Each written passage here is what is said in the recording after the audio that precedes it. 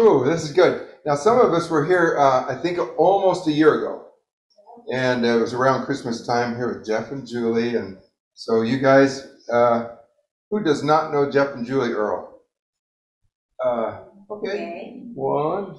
Okay, right there. Okay, this is Jeff, and Julie is somewhere. Julie's in the kitchen. But to know them is to love them. Amen. And we have been good friends for since 83.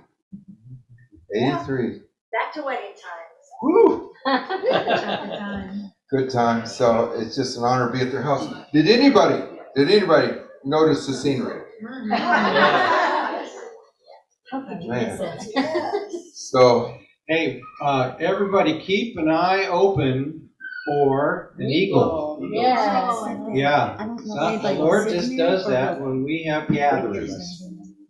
And, uh, we get, we see an eagle about maybe three or four times a year. And so just keep your eyes peeled. Last time Thank we you, got Earl. together, we saw the eagle. Did we did? Okay. We had a pastor uh, and his wife from Hawaii staying with us a couple of weeks ago, and there was one that showed up. yeah, so uh, where the body is, the eagles gather.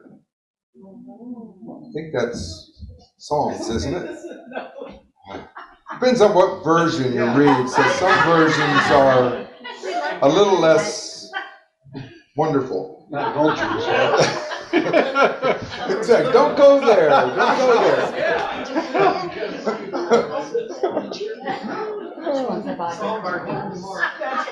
Yeah.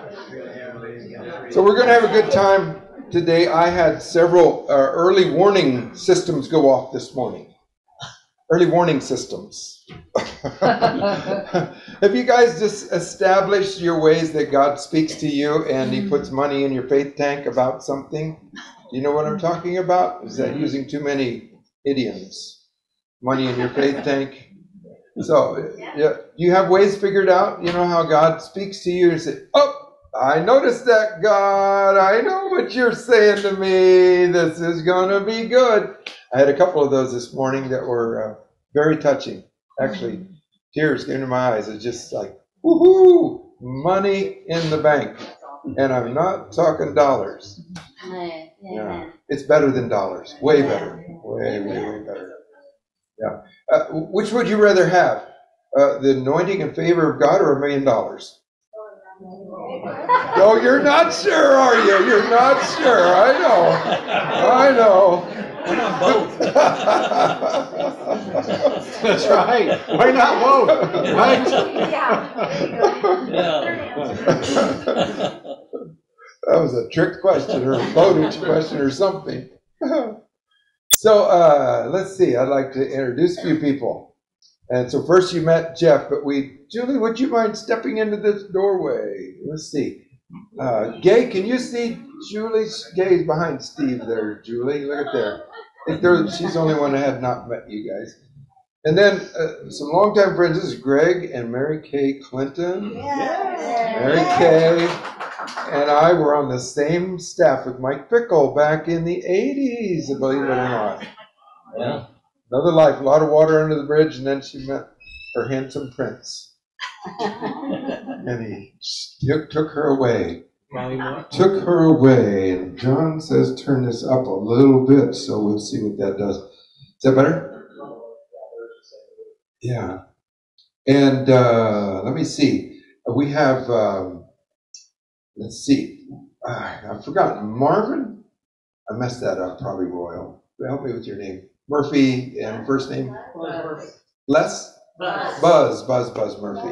Yes, he's, he says we've met again in another life. But, uh, yeah, I'm going to do something here just a minute and turn this down a little bit. Okay, so good to have you here, Buzz. Gay, you're back here. I think this is your maybe second time. Good deal. Good to have you. Oh, and then we have a very distinguished guest, a very, may I say, very distinguished guest. Steve Bartlett. You guys all know him, right? To know Steve is to wonder about. I mean, to love him. but next to him, next to him is Beverly. Bev. So, uh, they're just long time veterans at this fun stuff, so good to have them along. And who else? We got Jan, John and, uh, Nancy, uh, John and Joyce, so sorry, John and Joyce Klaus from down, uh, Nixa, I, Springfield, okay. Yeah, this is maybe your first time to this meeting? Yeah, good deal. And you were around with us at the conference, so that was awesome. And by the way, we did call that a conference. I think if we do it again, which we will, I think we're going to call it a gathering. So it's just a little less formal, you know, a little more kind of homey or something like that. And, uh, and then we got uh, Tyler and Crystal. They've been here. This is their second time, so it's good to have you guys here. And help me again where you're from, Clinton Yeah. area? Good deal. Tyler's got something fun he's going to share a little bit later on. So good to have you along. And we got uh, cool story we're going to tell about John here. John's gonna help tell the story. Some of you know the story. That's why you're chuckling. That's why you're chuckling. So anyway, it was fun. He normally plays keys, but uh, today we're giving him a break. Been skin diving. It's just-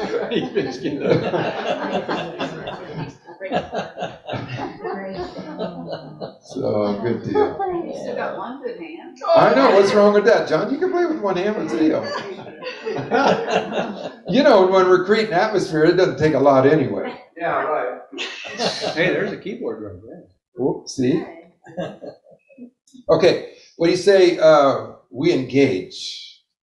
Engage. Now, some of us, you know, you've already been there. We had a, a Zoom meeting this morning with the ALC school that, uh, I was kind of rendered, uh, fairly speechless a few times, just really, really tender, really just presence of God. And, and, uh, so, you know, some of us got our, our tanks full and our motors revving, you know, it's just like, let out the clutch and let's go.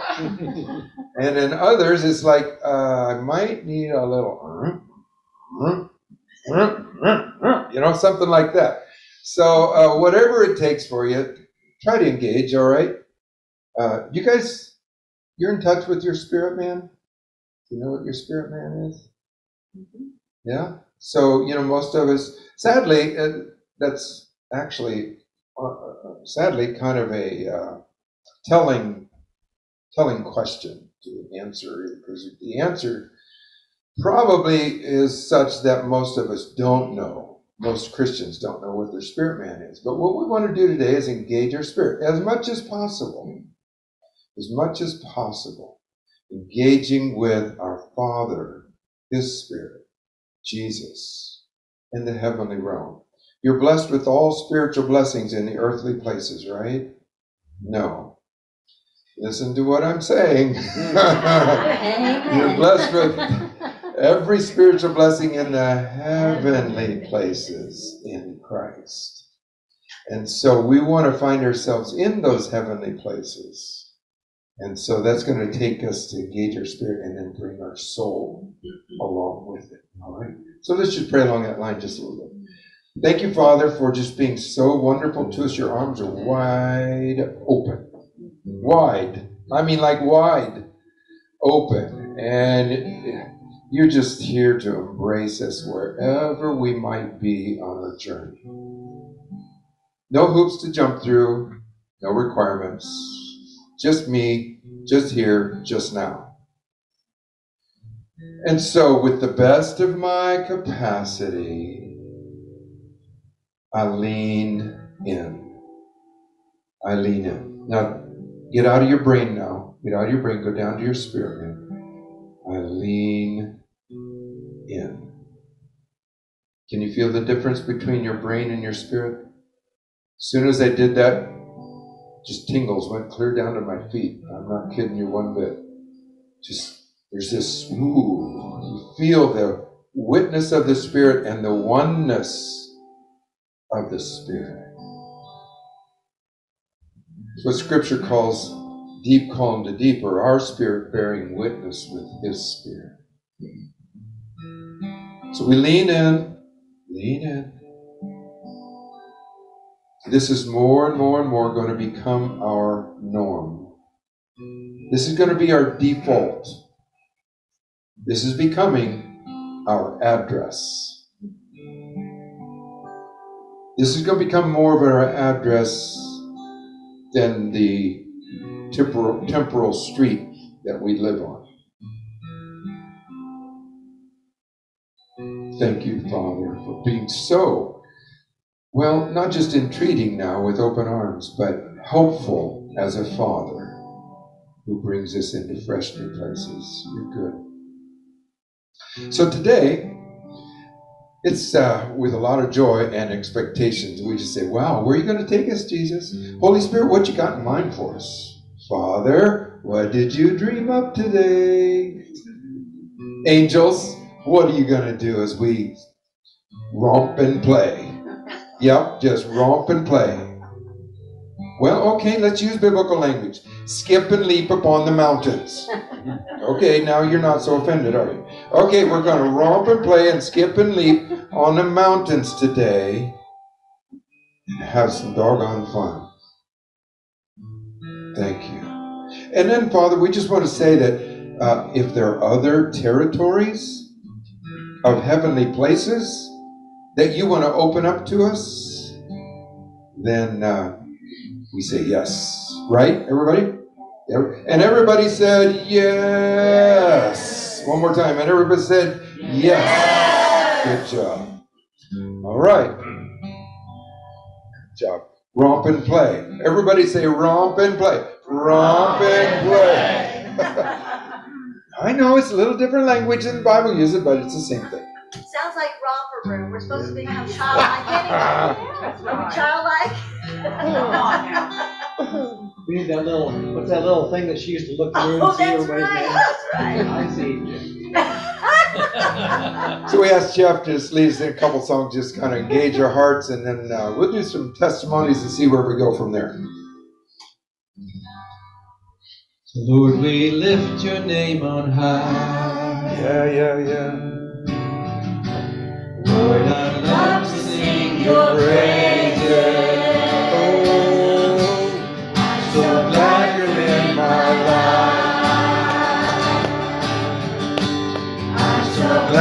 Came to save us. You came, you came to heaven, to earth, to show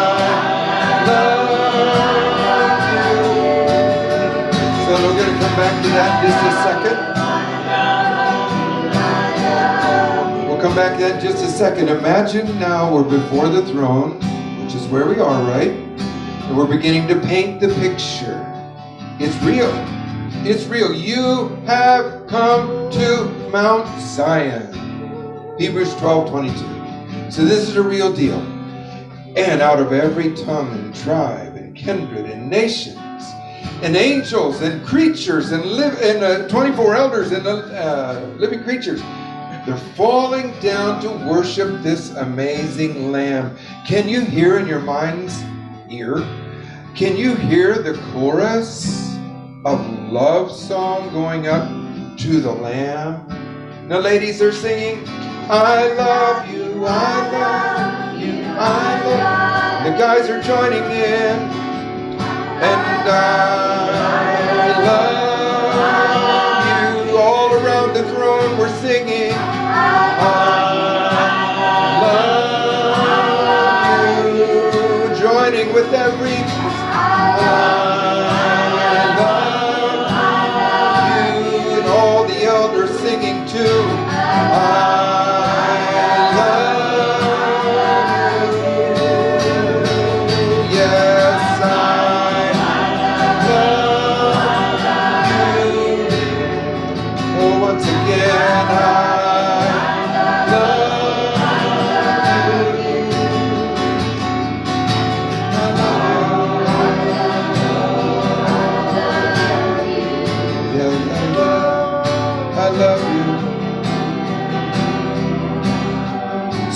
30 or 40 years, David and his crew worship before the Lord without stop.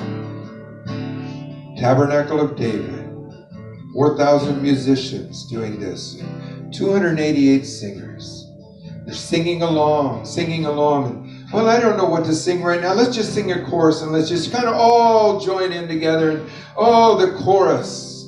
288 singers, 4,000 musicians, and they're before the Lord. And then somebody steps up and begins singing a verse. And I don't know what I'm going to sing, but I'm going to sing something. And then some of you are going to sing verse two, okay?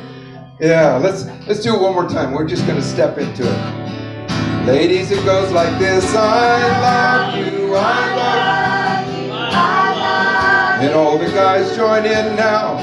And I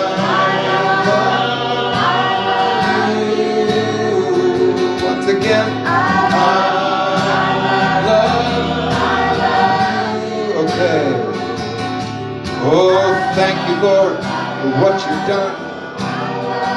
Okay, ladies and choruses, quiet down just a little bit. Give space for a verse and we'll come back to the chorus. All right. Lord, I thank you for every day of my life. How you spared my life on very specific occasions. You dispatched angels, they came and carried out your wonderful plan. Brought me now before your throne so I could worship you again. I love you, and I love, love you all together, and I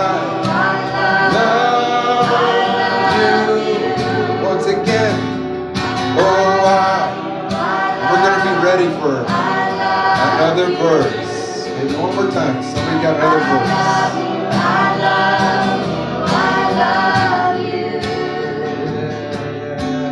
Yeah, yeah, yeah, yeah, yeah, yeah, yeah, yeah. Good.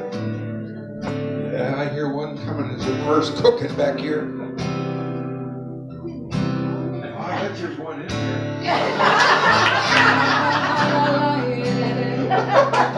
here.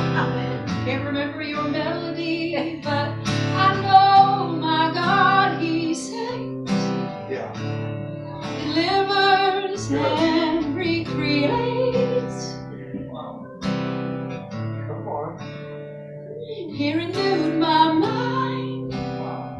He restored my soul when I was lost, lost and out of control.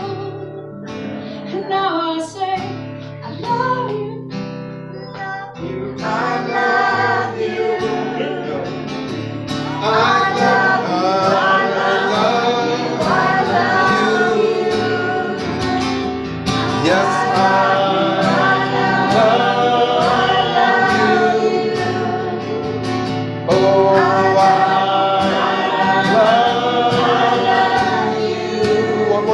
somebody's up next.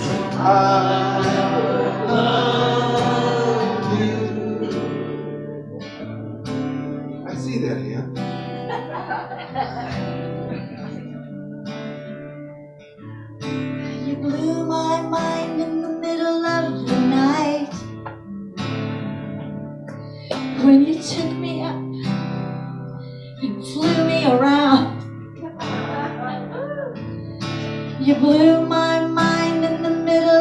the night.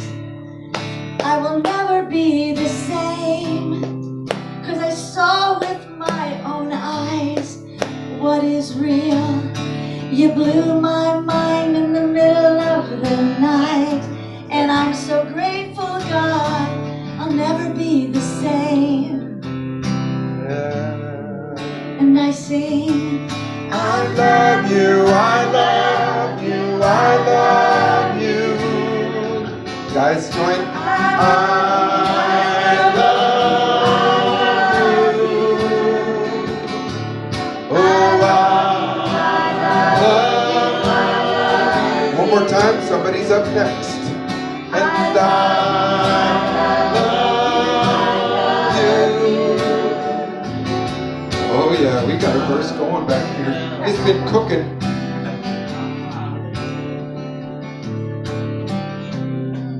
Is like you, Lord?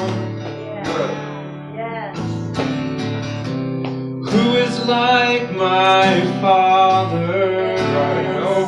Oh, I stare into the universe of your heart. I just wade into the light of your love. come. And my heart comes alive, and my mind expands Yeah. as I see your great love, the immenseness of your plans, oh Lord. Who is like the Lord? Who is like the Lord? Who is like my Father? Who is like my Father? Who is like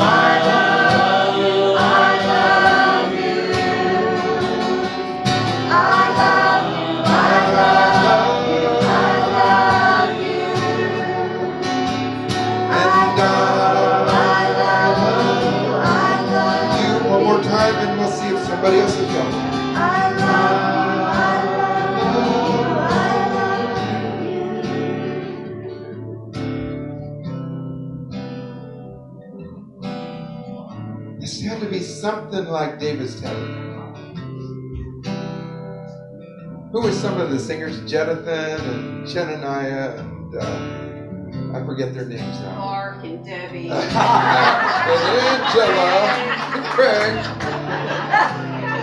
Absolutely. We're all there. We're all there. I didn't know you were that old.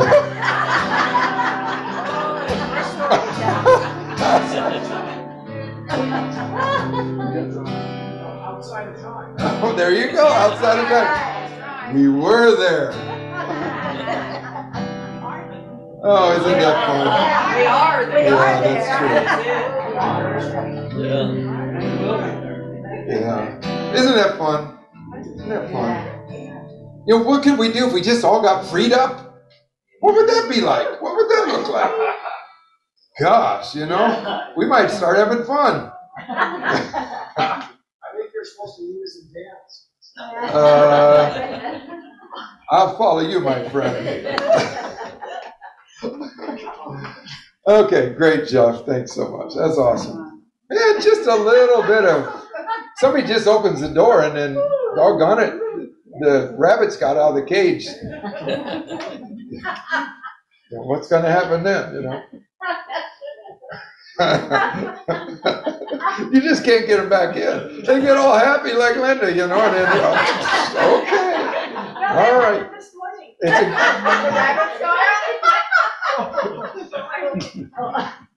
a, it's a goner now. We're gone. That's fun.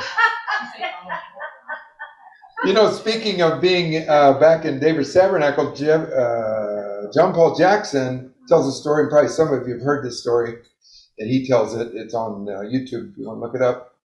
He was taken back to uh, a time in Old Testament, and come to find out, he met King David. He had all the sights and sounds and smells of the day, vivid color and everything. And he came back, and it's been a while since I heard this story, so I may not have it all completely accurate and all the details. But he came back from that experience in the room where his friends were, and he told them the experience. And they're like, okay, cool. You know, I guess anybody can have an experience like that. It's pretty cool. Except they were actually in Jerusalem, physically speaking. And they said, well, why don't you come with us shortly thereafter? They said, why don't you come with us? And they went down to a place, I think it, they call it the Cardo. It's a place that's really, it's been excavated back to the original stones where Jesus would have walked or thereabouts that time period. And then it's not been recreated. It's just been taken all the rubble and debris back to the the stones of the walls and the stones of the floor. And the, the floor is you know, all the stones are rounded and everything. So it's it's the real deal.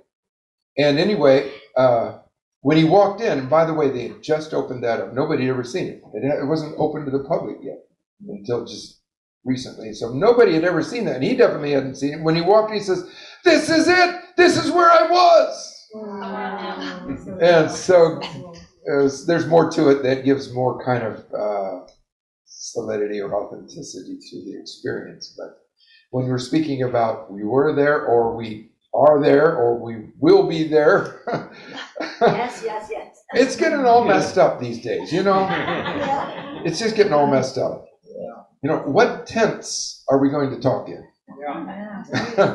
if in the spirit realm there's no time or distance, what do you say then? Well, I was. Oh, and I don't know what you said, Linda, but this maybe is what you said. God actually named himself I am that I am. Is that what you said? And we what? And who are we? We're in him and we am.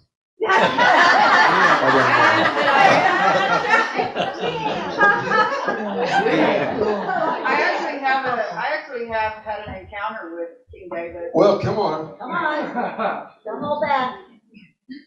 Well, Well, you know, it's like, I haven't had anything in a few years, so they're all, you know, a little bit dated. You know, but- Wait, wait, wait. Wait, In the past? Oh, that's true. This morning.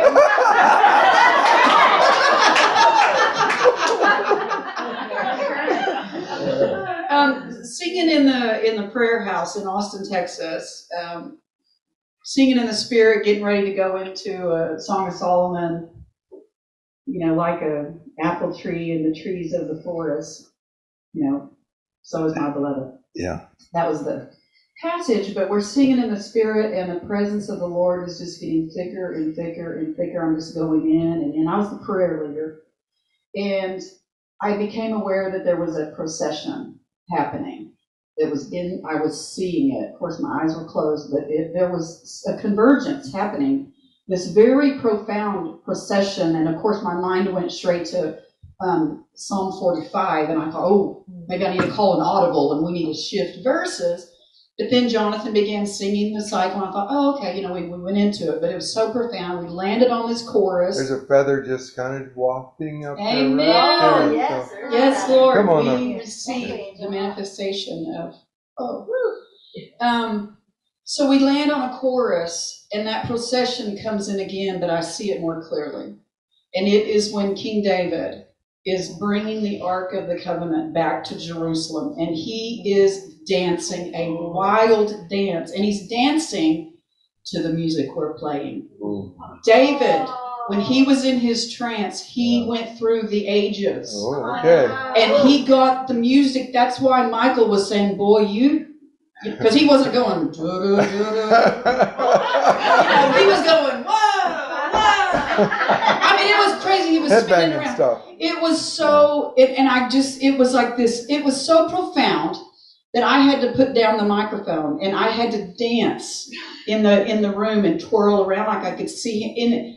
It was just the most craziest. I've never experienced anything like that. And when that cycle was over, at the exact same time, the wire to the keyboard and the wire to the guitar shorted out because the it was so electric.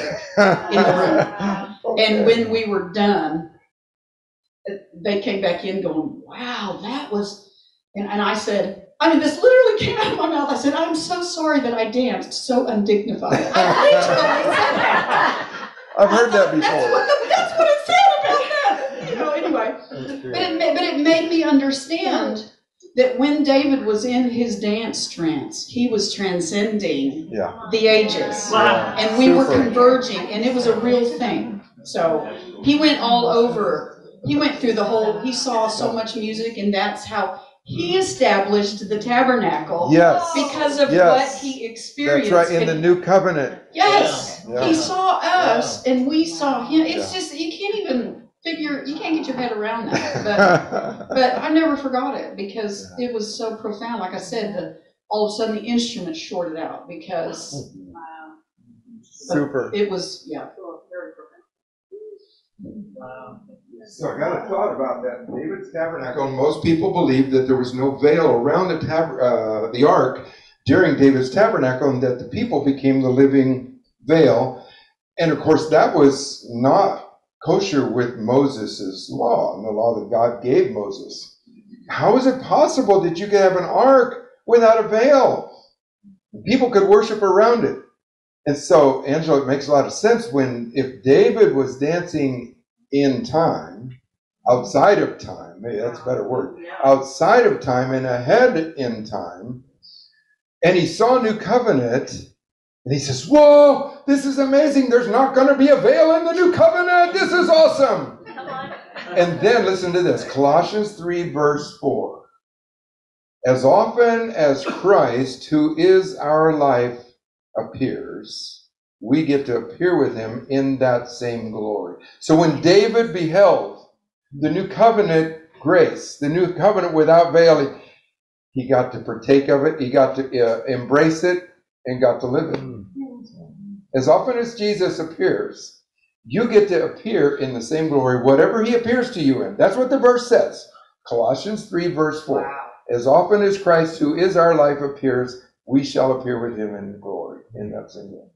So, a couple words, a little elaborated so we can have some understanding. But the point is, I love seeing Jesus because every time we get to see him, he says, okay, now you own that. That's right. Mm, very good. That's right.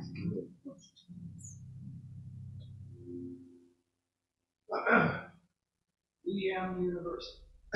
Okay, it was dumb, but why don't you say it one more time? WEM University. You're like, wow, wow, YWAM almost got it. Almost. They were close. You know, it makes sense that Moses had to go up onto the mountain to get the pattern for the tabernacle. Yeah. And to think that David did not go into the heavenlies to get the pattern in the end, he had to go there. Wow. There was no other way to find that pattern.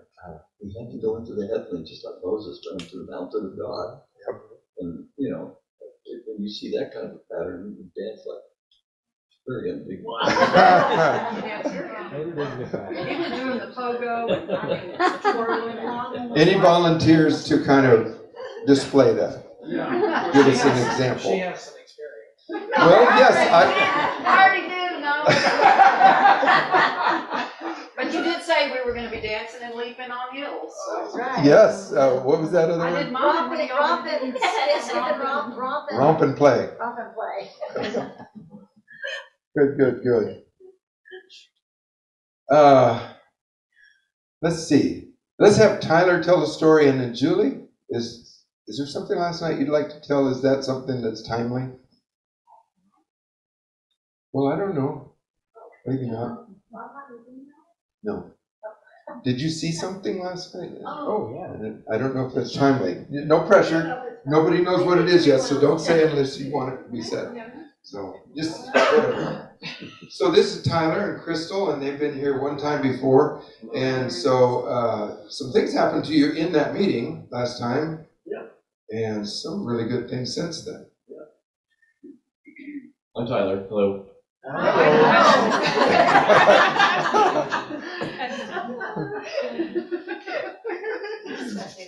Yeah. So I was mowing the yard one day this summer, and the Holy Spirit came upon me.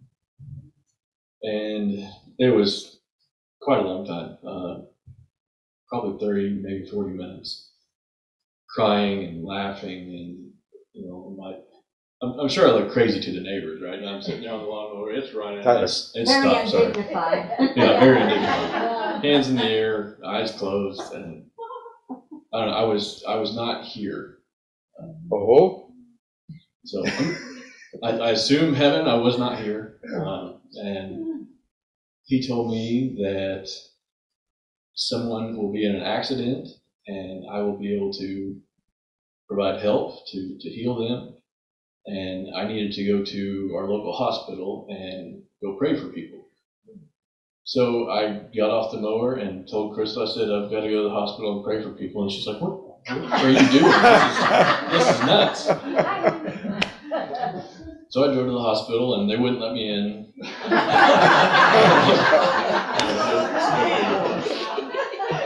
So I'm walking around outside with my hands in the air, praying out loud, and I I don't know if it was a test of obedience, but Wow. um, so by the time I got home, it was it was dark, and And Crystal finished the lawn. So my daughter and I had been gone right before that, and we get home, and I'm like, the yard should have already been mowed. I'm like, what is he doing? So he's like way out in the yard, and I just see him sitting there, and I'm like, what is he doing? So I call him, and he's, and he was like, I'm just having an encounter with the Holy Spirit, and I'm like, okay. So I just go inside, go about my business. He comes in, he tells me he's going to the hospital. I'm like, what is happening? So he goes and he, does this thing, and I'm like, okay. And so the next day, because he didn't finish mowing, I had to finish mowing the yard. And so I'm mowing along and listening to my music. And I felt this, had this terrible feeling something was going to happen to our daughter. And it was awful. I'm like, oh no, I'm dismissing that feeling. No, I'm not going to have that. And so I tried to stop thinking about it. And it was hours and hours later, and we were going to a rodeo. that was like 25 minutes away. So I just had this terrible feeling the whole time in the car that we were going to get in an accident or something. Something bad's going to happen to her. And I didn't tell Tyler about it. And, anyways, then we get there, and I'll let him finish the story. So we're at the at the rodeo. I'm at the ticket booth buying tickets, and there's beside there uh, the Clydesdale horses. were, we just get a treat and feed the horses. Uh, our oldest daughter, she's ten. She she got some treats and she was feeding the horses. And as she she reached up, the the horse grabbed the treat, and it also grabbed her her two fingers, and it bit onto her fingers and lifted her lifted her about three foot off the ground by her fingers. So of course, lots of crying and screaming, right? And, and so we we get her inside this building, and it's her fingers look terrible. They're they're mangled. The, the skin is just, shredded in blood. I mean, it's terrible. Um, two first responders come up and they they look at it and they say, you know, fingers are broken. It looks awful. You need to get her to the hospital like, right now. Then my brother and his wife, they come up and they're both nurses and they said the same thing. They said, "Oh, it looks awful. We need to get her there immediately." Then uh, two paramedics from the ambulance showed up and they, they said the same thing. That oh, the, this is awful. So they, they gave her an ice pack and they, they go out to the ambulance to uh, to get some paperwork. They're gone about ten minutes, and and when they walk out the door, um, we're we're sitting there, Crystal and I, with our daughter, and you know, what are we gonna do? I was like, wait a minute. The Holy Spirit told me this is gonna. I, I've got this. So I put her hand in mine, and and we prayed out loud right there for for God to bring healing. And when the paramedics came back in, they said, "Well, wow, those fingers look a lot better. They were only gone like I think she's going to be fine. And, and then the first responders came back in and said the same thing. And my brother and his wife came back in. Like, oh, yeah, boy, the ice pack did wonders. And I said, I said, let me tell you about my Jesus. So, yeah, yeah. Anything else? That was it. She was They might like, have an angel on their lawnmower. We have a few encounters on the mower, so I think you might be oh. right. It seems like there's a, a a little theme here of being undignified. Oh,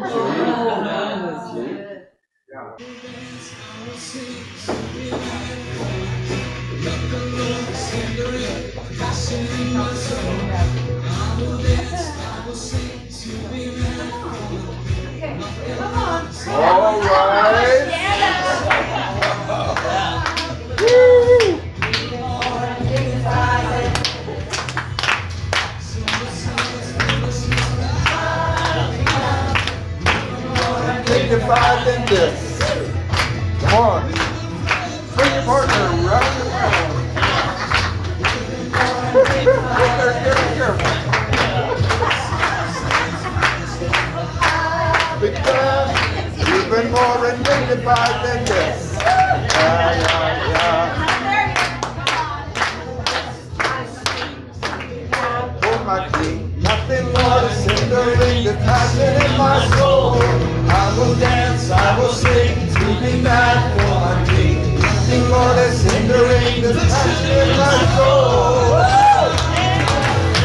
Even more undignified than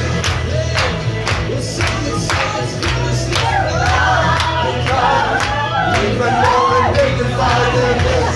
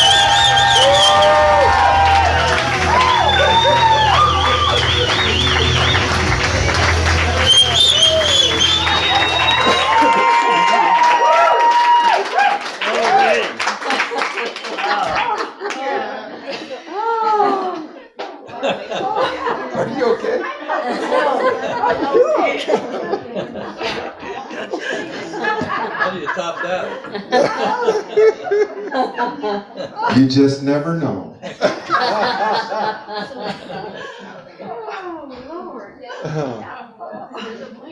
And what's the next course?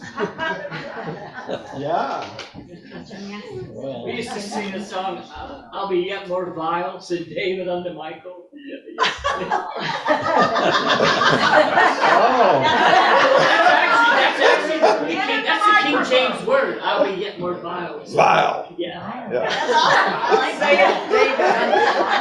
Dignified little cover and then more severe. Uh, I think we declare that over ourselves. I will become more undignified. Come on. a while back, I can't think of the exact time, and it came to mind when we were up dancing. The Lord was kind of fine tuning my thinking about dancing and said, Dance, said, okay, I can't remember which way it went, but as speaking in tongues is to your mouth and your speech, so is dance to your whole body.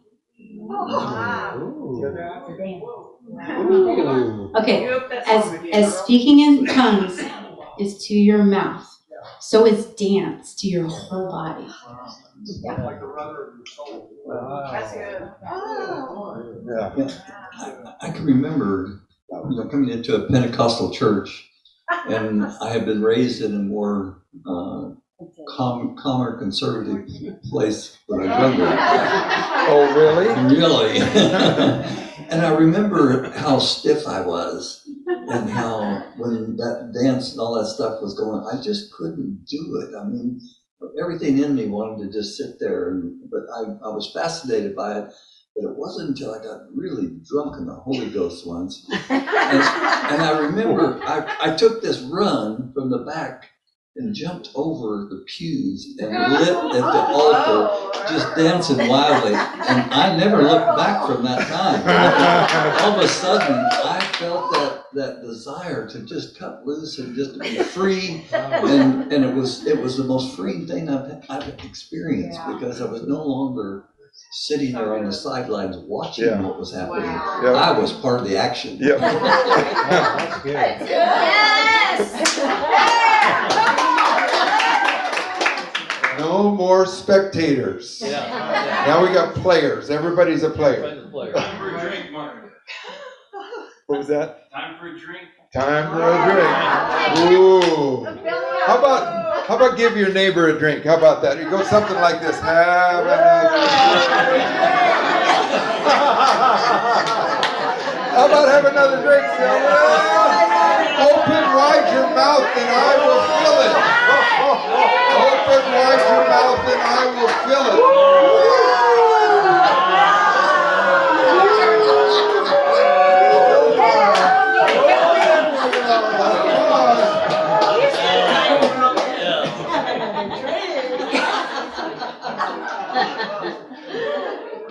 those verses are in there? Open wide your mouth and I will fill it.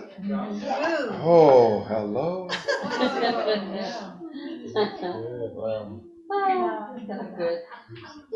Who's got a story?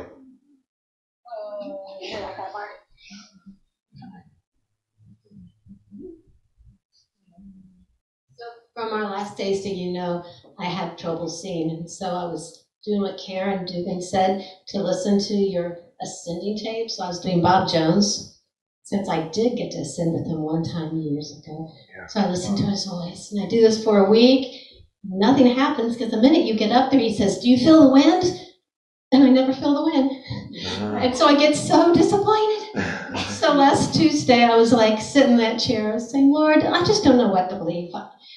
And and then I got an email from Bob Hartley like two hours later, he never sends me emails. He says, "Dreamed for you." Dot dot dot. Gave me a link.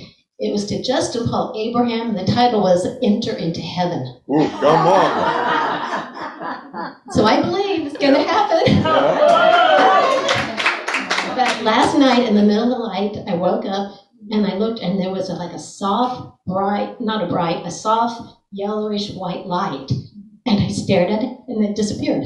Wow. And I thought, maybe that was just our humidifier. And I looked at the humidifier, it had no lights. I think I've got an angel. And Jeff, um, you released angels in the house even for today, right? Before, yeah. Yeah, yesterday he released angels, and then last night she sees this angel in her room. And I had a, I had a kind of a, just a feeling, I don't know, you know how you get feelings sometimes, that, um, you know how a, a crowd is kind of before a, a performance or a concert or something like that, and they're just kind of all excited and they're all kind of chattery and, and uh, anticipating of what's going to be happening. And I just had that sense that's the angels before our meeting. That they were all just kind of excited about coming and visiting and seeing what's going on and what God's going to release. And, I had something similar like that, Jeff, where I saw them and my angels were excited and giddy to actually commune with the other angels that came with everybody else. Yes, yeah, that's it. That's it. Yeah.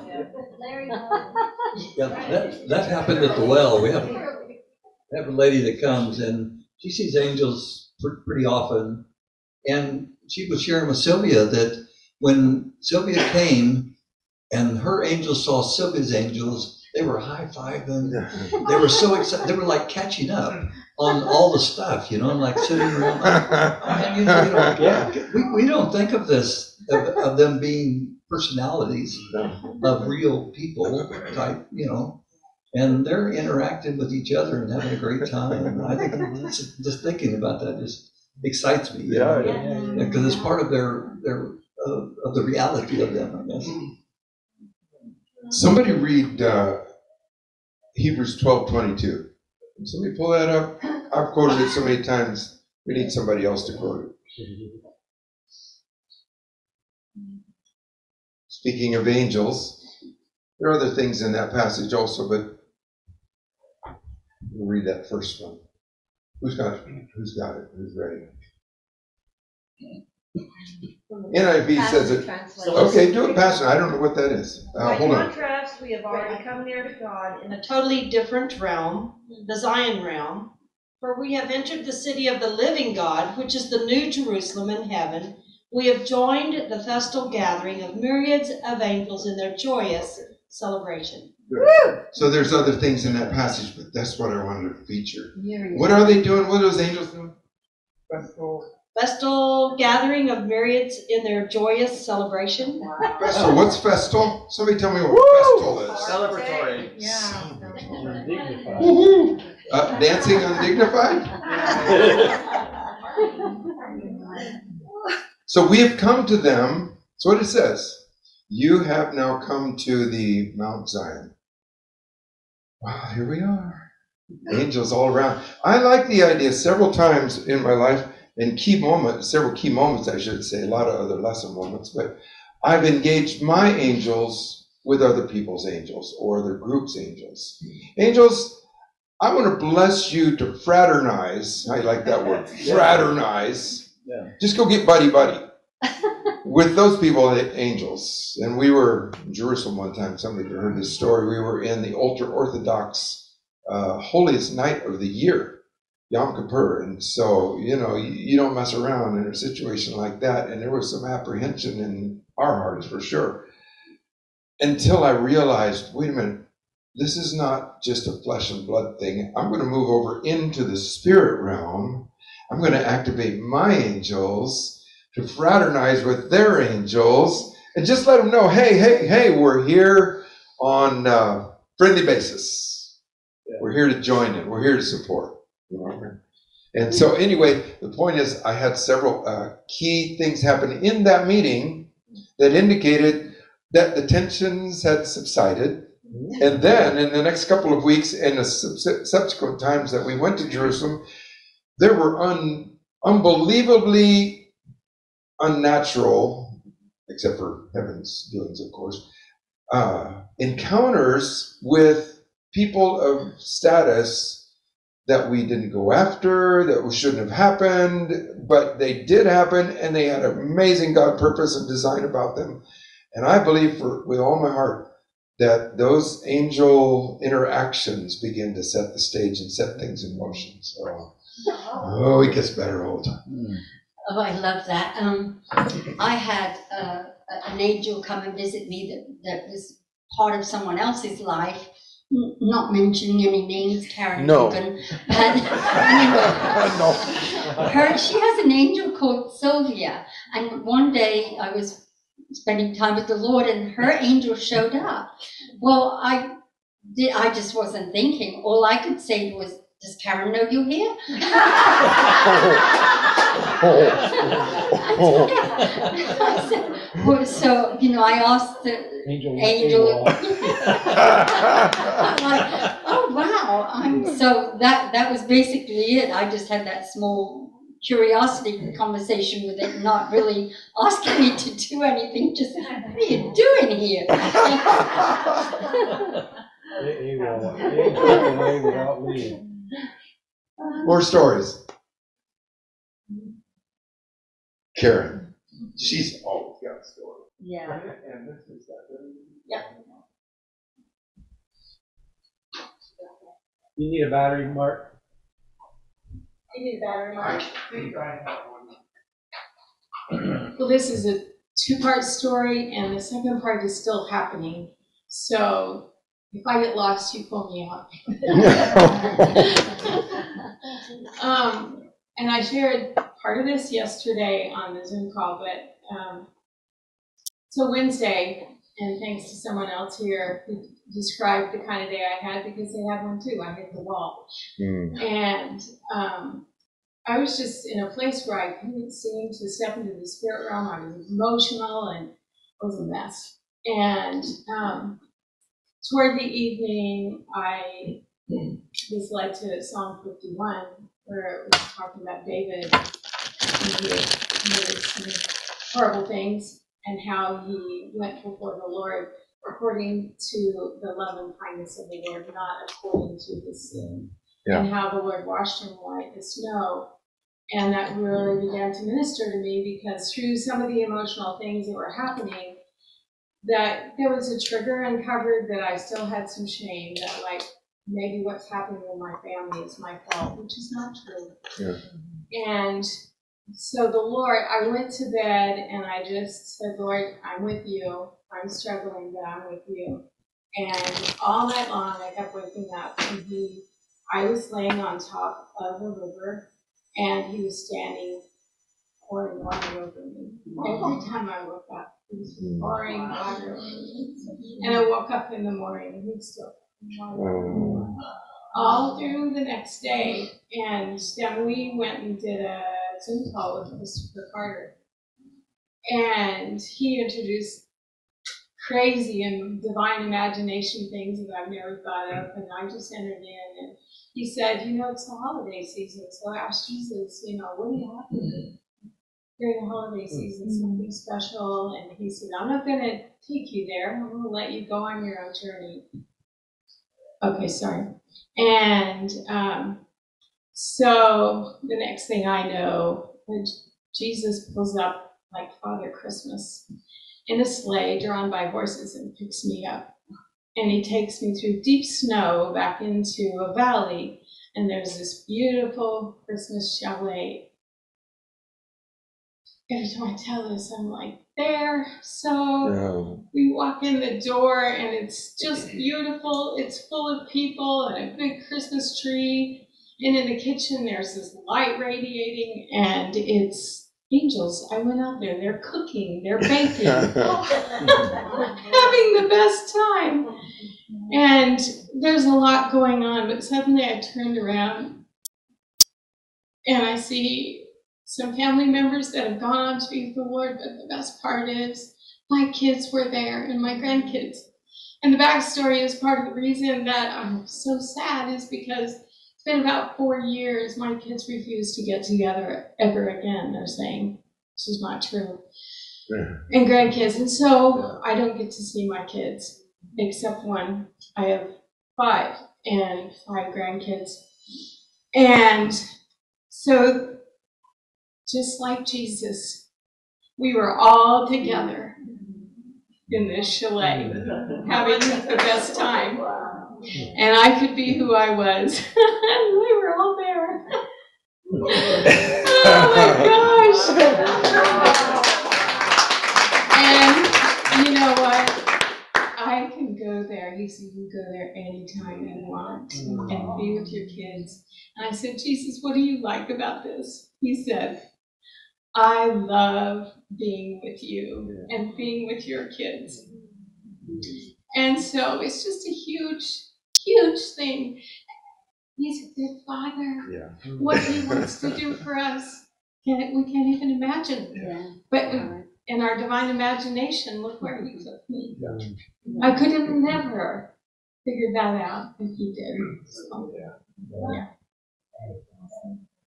Mark, how about her laying on the river and on pouring the water out? Aquarius, pouring the water, Oh, the yeah. seasons, the time of season. Yeah. Loves Aquarius, the picture. Most of us believe that we've come into a new age, literally, not astrologically or zodiac. We come in astronomically, but it also is biblically. And anyway, coming to a new age, and uh, that uh, it's called Aquarius. Yeah, I understand that the other side got the name and made it popular before we did, but that doesn't mean they got the corner on it. They're just making it a okay. You get the point. And so, what's the icon? What's the image of Aquarius? A heavenly man pouring water. And so here he was pouring water. Every time she woke up. Now, uh, you know, there's just a ton of um, bruised and broken parts and places in our lives from things and, you know, fender benders and whatever we had through life with people and circumstances and bills and failures and weather and whatever, you know, it's just a ton of that. And our soul man takes quite a hit, usually on a daily basis. I mean, honestly, there are very few things in this life that add to us. Okay, maybe the sun does, vitamin D, but you know, go to your mailbox. Is that taking from you or adding to you? Uh, how many of you love the junk mail in your in your email box inbox? You know, it's just re- everything's requiring something from us, whether it's the kids or other people. And so, what God, I believe, is interested in doing is healing up the whole man, healing up the whole man. Now, He could do that partially with us as earth-based, earthbound Christians. He does love to break through from the spirit realm down into the natural world and into the earthly circumstance. He loves to do that because he wants to get our attention and win our hearts, win our love. He's so good, he'll get in the sandbox with us and play with the old doggy chewed up toys and the doggy presents that got left into the sandbox. You know what I'm saying? He doesn't mind. He's a good dad. Yeah. That's not beneath him. He's just like, no, no, no. I like you. I don't care about anything. I just like you. I like being where you are. So it doesn't matter where we're at. He'll get in the sandbox with us. In the process, he want his, his attempt, his desire, his objective is to win us to leave our binky behind. And our leave our old sun faded dump truck that the dog bit the last part of the wheel off of it, you know. To be able to leave it that was our favorite. But to be able to leave that behind and come into the next level with him. Scripture says uh, he's given us all spiritual blessings in the heavenly places. Maybe we've been trying to get the blessings in the earthly places. Or how about John 17, verse 24, where Jesus said, Father, those that you gave me, I desire, I long for them to be with me where I am. And here's the key phrase so that I can show them my glory. Now, he can show us his glory down on earth base, not a problem. He does that all the time. But he's wanting to entreat us and win us to come up into the heavenly places so they can finish the healing processes. Remember? So that I can show them my glory. That's what he said, John 17, 24. Why does he want us up there? He said it in the exact same verse. So that I can hmm. show you my glory. And that's where you get mm. every spiritual blessings in these heavenly places. So, like, who would stay behind? You want to raise your hand real high if you just, well, no, I think I'll just stay behind, you know? no takers. Okay. Bill Johnson, now I don't mean this to be an indictment, but I'll just quote Bill Johnson. He just says, I can't prove this. That's exactly what he said. I can't prove this, but I rather believe that the difference between earth base and heaven base is the difference between servanthood and sonship. That's pretty strong. Yeah. Pretty doggone strong, doggone strong. The difference between it is the difference between servanthood, like I'm worthy, I'm, I'm not worthy of anything. Uh, God, you, I know you're way up there, and I'll just be my little old self down here. I'll not try to ask too much. Servanthood, servant mentality, slave mentality. I'll try to do good best I can. Come up here and move into sonship. Now, I'd like to create a little uh, diagram and just a little bit of explanation about it, and then I want to pull a story in about John.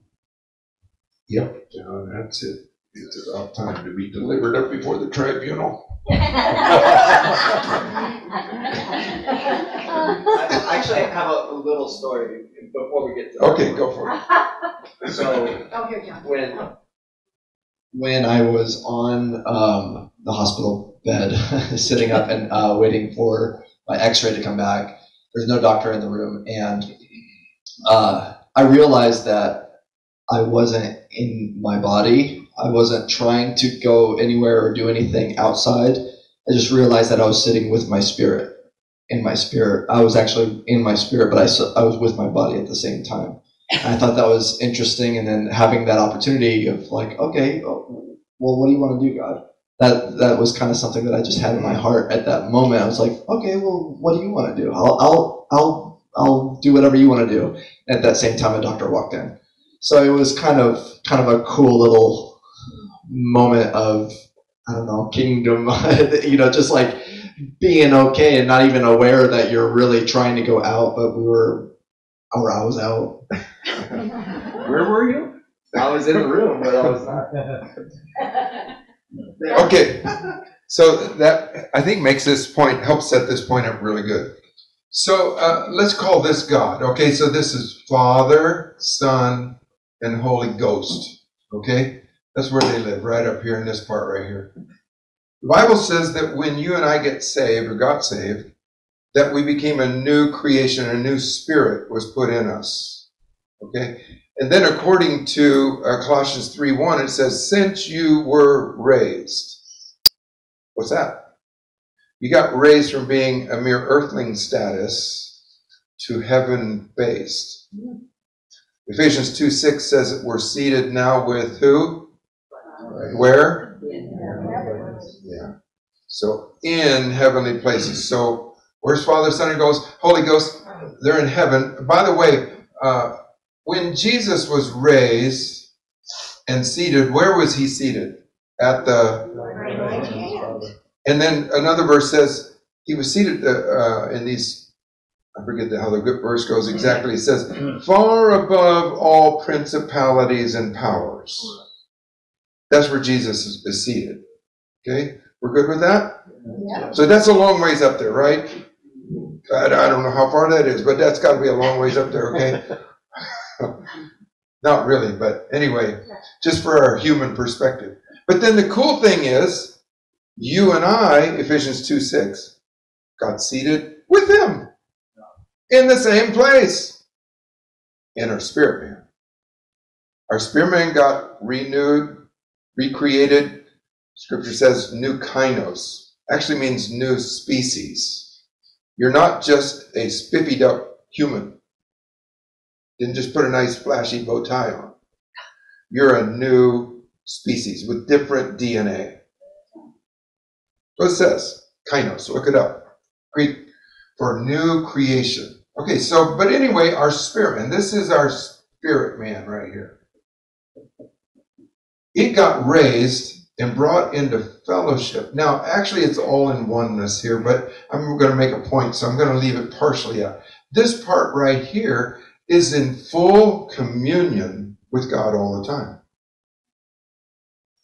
You mean you and I have a part of us that is fully communing with God right now? I think that's what the scripture says.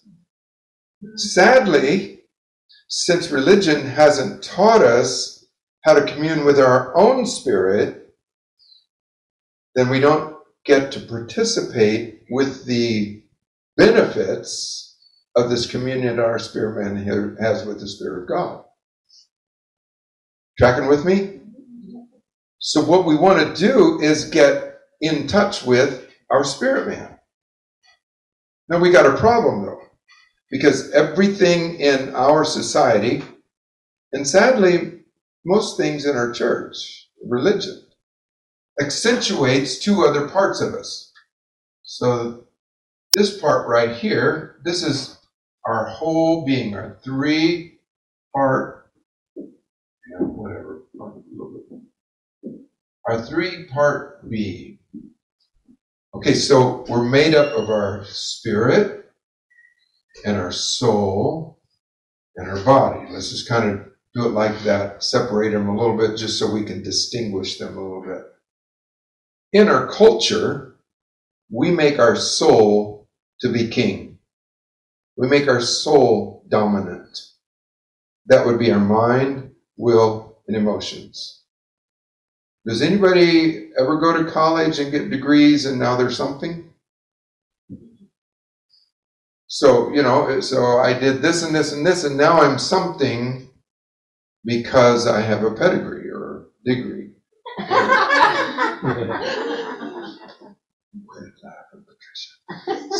So we we make our our mind king.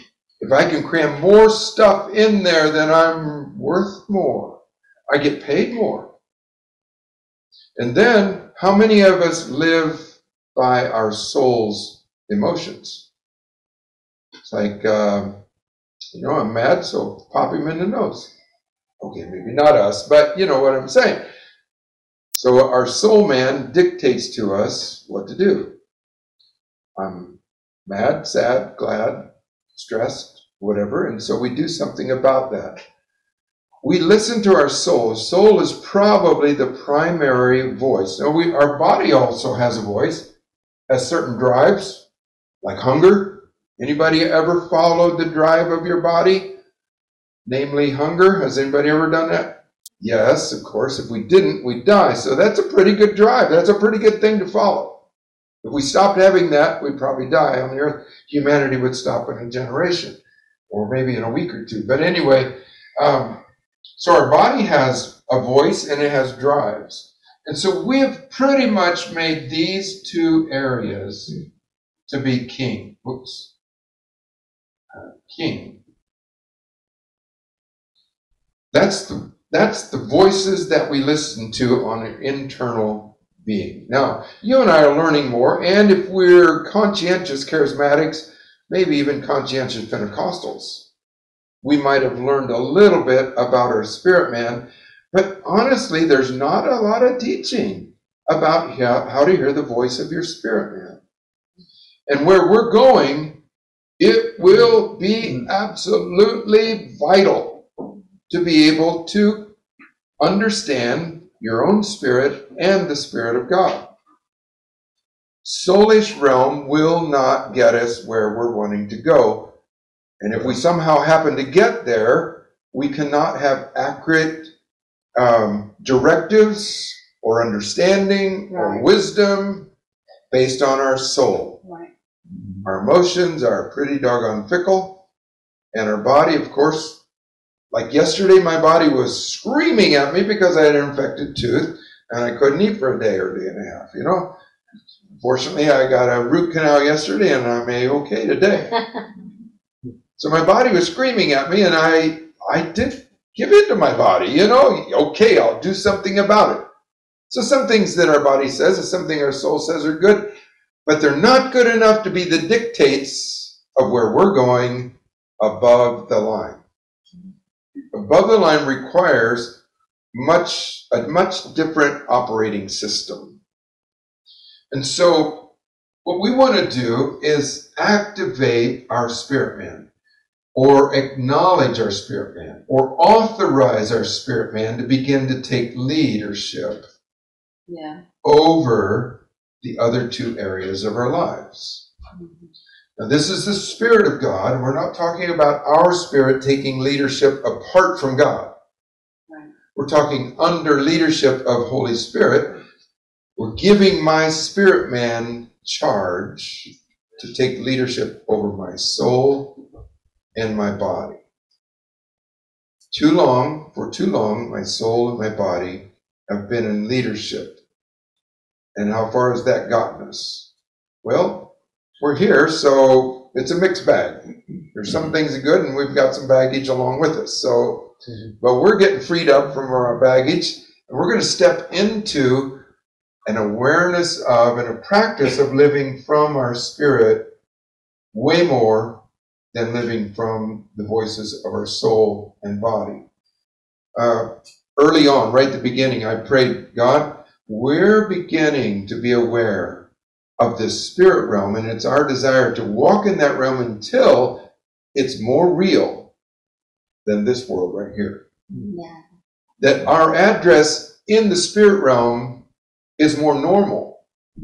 It's default, meaning it's the go to without having to think about it. It's the first position you think about yourself rather than, well, okay, let me see if I, okay, let me grunt a little bit. I can get, okay, now I'm in heaven. Now it takes that for a while for us, and um, you know we're still working through all of that.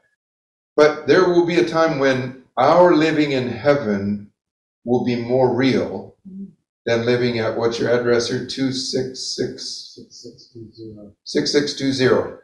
It'll be more real than living on this lane at that address. And that's where I think God begins to get happy. Mm. It's like, I'm happy for babies. He says, I love babies. I get into playpens and sandboxes with them, and it's not a problem. I love them to pieces. It's awesome.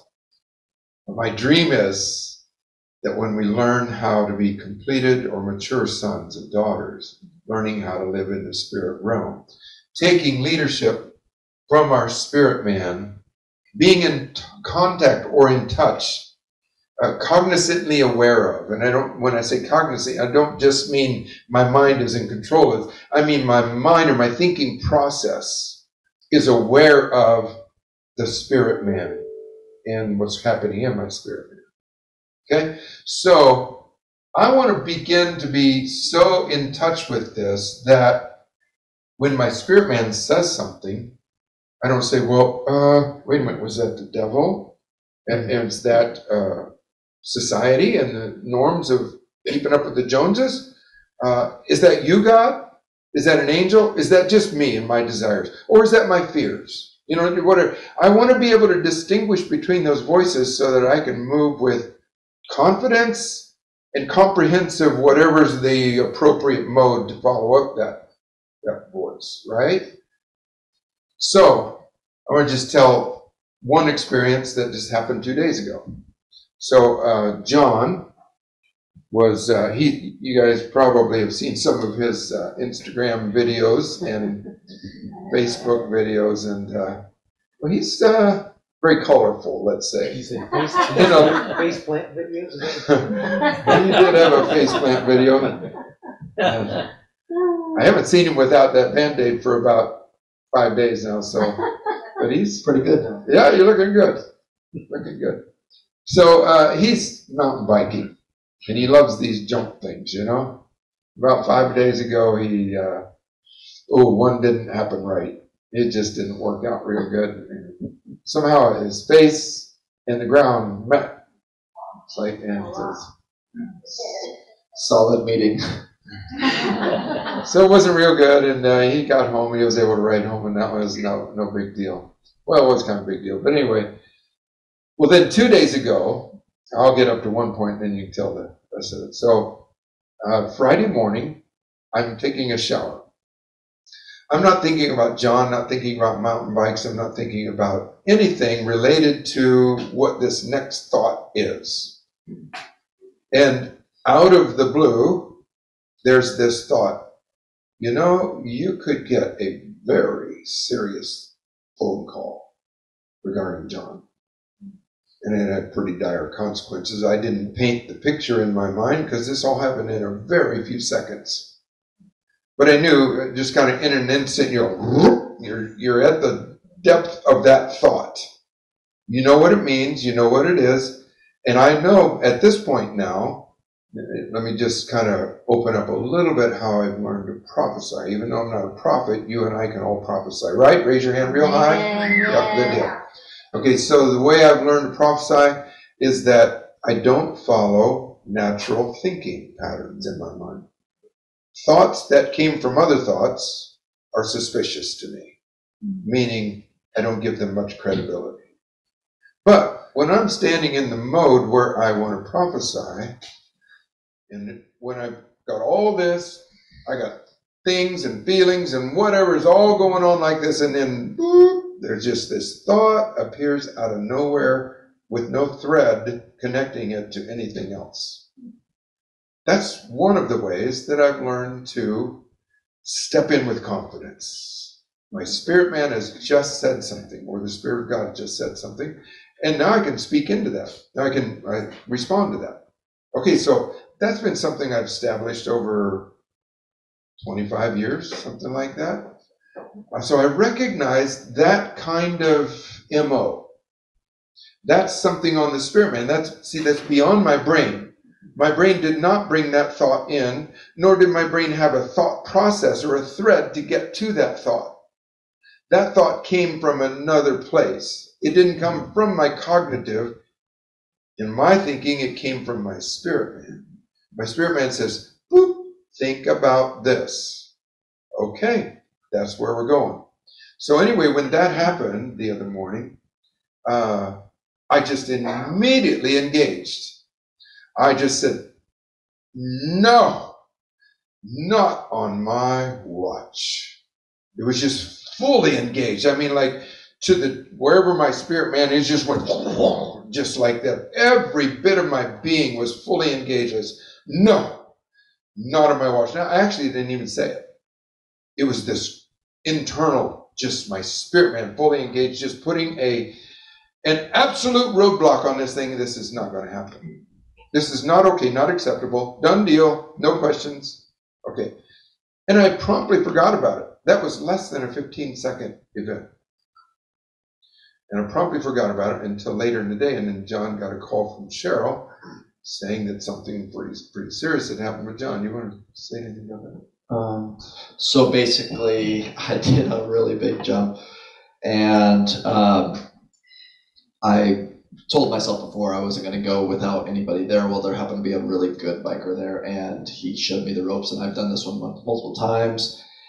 Ended up walking through it. We did it, and I succeeded all the way through except for one section. I said, "All right, I'm going to try it again. I want to make it better." So I tried it again. And I did this, and I fell on my shoulder, fell on my head. I think I did a series of other somersaults, and then um, uh, it's a, it's about six or seven feet high, but it's about ten or twelve feet long. and it's just a drop. Um, so anyway, I did this and um, landed wrong, you know. So it kind of made me, me uh, disoriented. I didn't know where I was. I woke up real quick. I mean, it was a split second on video, and basically I was just saying, "Where am I?" And I knew I was in the woods somewhere, but I didn't know I was in the woods. Um, but as uh, the seconds progressed, I realized where I was and what was going on. Well, the guy he came over. He, I said, "I think I might have dislocated my shoulder or something." He comes over and looks at my shoulder. And he's like, "Well, maybe." he's not really sure. Something's going on with it, but he wasn't really sure.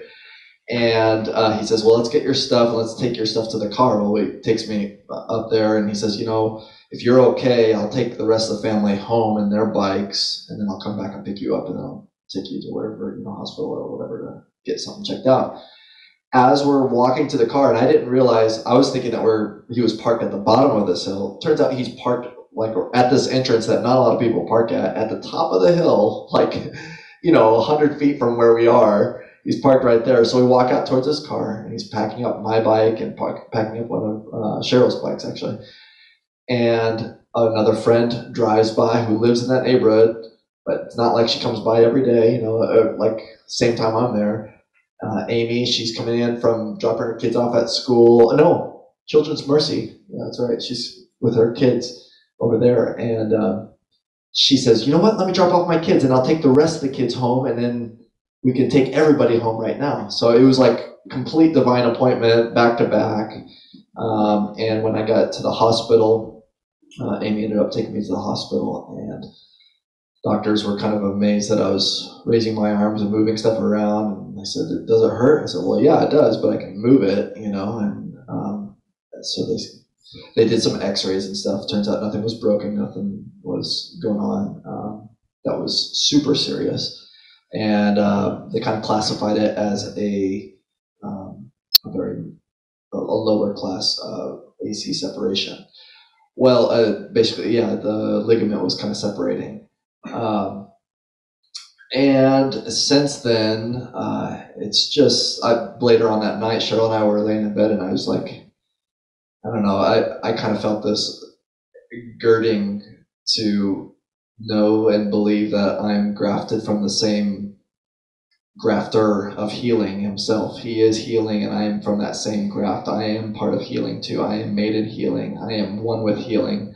I'm one with him, and I, you know, I, I don't think it's too small to ask that tomorrow. I said maybe it's too small. I told Cheryl in bed. I said maybe it's too small that I asked I'm tonight, but by tomorrow I'm gonna be better. And by the end of the day, the which was last night, I mean, Dad came by and I was able to move my hand around. I didn't actually have my brace on, and honestly, the whole time that I've been here at the meeting, like the brace has been kind of, um, uh, and it just hasn't felt comfortable. And I'm not going to go dancing and jumping around, but I feel amazing right now. Um, and the whole time that we've been here, it's significantly better. And this is two days ago that they said that I had the AC separation. So anyway, I'm, I am from that same graft. I am from that same uh, chip off the old block. That's super. So, um, so uh, the key point for me was that uh, God, through His amazing abilities, gives us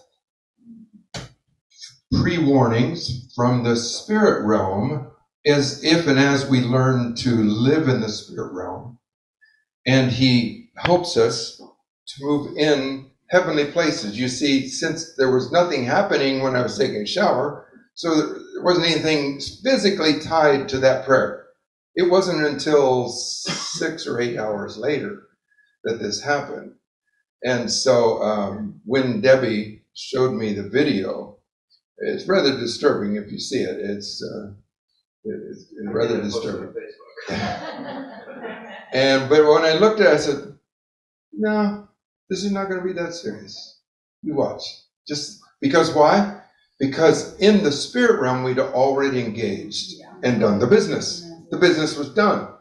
So need no need to kind of get all in a yank about this, like, oh no, this is terrible. He'll probably be laid up for months, you know, and whatever. And there you are, you know, all in a tizzy, because why?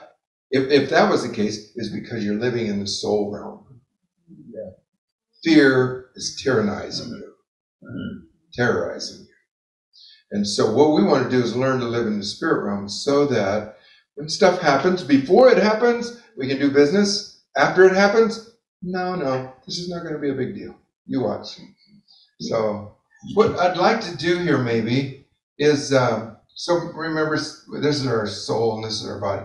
What I'd like to do is a little activation now of beginning to bring our soul man in sync with our spirit man. And eventually, I don't know, this is just kind of out there, but I think we have some biblical examples of this.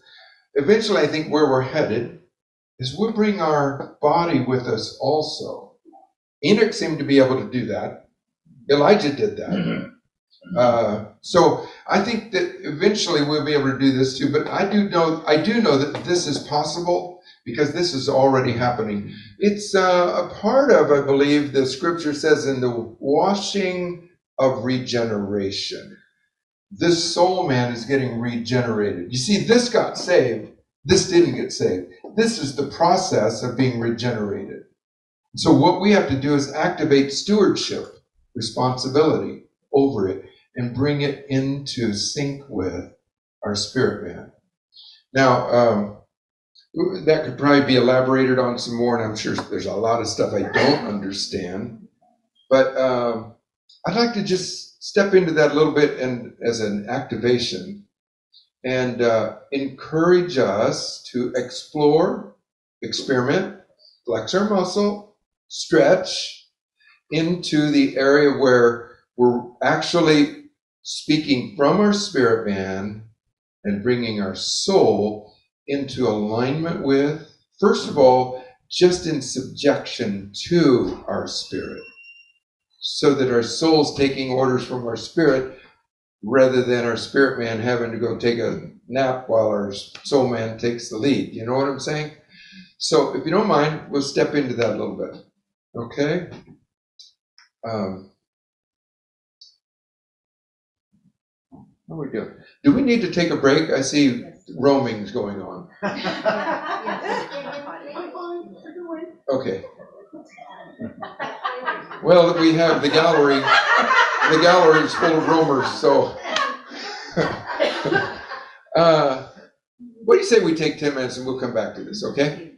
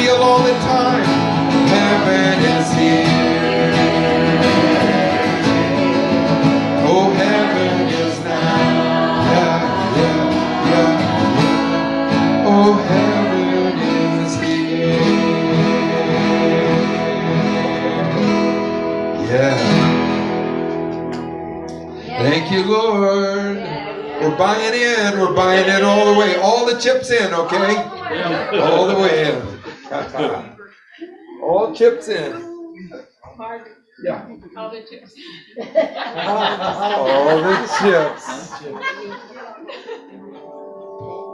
Oh. Dial atmosphere. John Hendrickson still Just playing. dial it up. That's John. John Hendrickson still playing. By the way, if you're interested, uh, on our website, there are 10 or 12 hour-long just instrumentals, background music, non-dominating, non, you know, whatever. Just kind of take your liberty. They're all free. You can stream them or download them. Doesn't matter. It's all yours. Whatever you like. No, but no, but if you ask me, I'll send it to you. It will be a thing one of these days. We're working on it. It's a thing in my mind. It's a thing. I think it as I go around my day. I love it when my grandkids sing it. Okay. Ooh, that just kind of feels good. Yeah. Feels good. So what I'd like to do is spend a little time of marinating and activating. And as much as we can, not get in our head. Just live in the heart realm. And I realize identifying our spirit might be kind of a, you know, a little fuzzy territory right now, and I'm cool with that. But at least get in our heart realm. In a heart, I don't know if that's biblically distinguishable between our soul and spirit. I don't know, but just Bible says in Proverbs 4:23, guard over your heart with all diligence, for out of it flow all the issues of life. So maybe if you want to go to heart level, but or if you're adept and skilled at spirit man, then do that. Okay, so you just you choose. But what we're going to do now is, and I'm going to just start kind of my own process, my own prayer. And I'll hopefully give you enough space that you can activate it and make it your own words, put your own thoughts, your own passion, your own pathos behind it. So you have your own encounter. If at any time Holy Spirit takes you on a left turn or a right turn and takes you down another route, follow him, okay? Do what he's doing. If you don't know, to just hang with me and we'll see where we go, okay?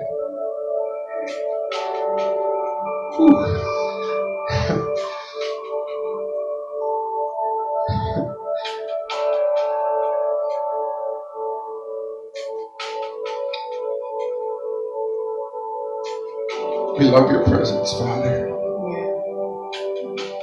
You're better than silver or gold. Better than, better than all the knowledge of the world. We love you. You melt our hearts again and again and again and again. Make us fall in love with you.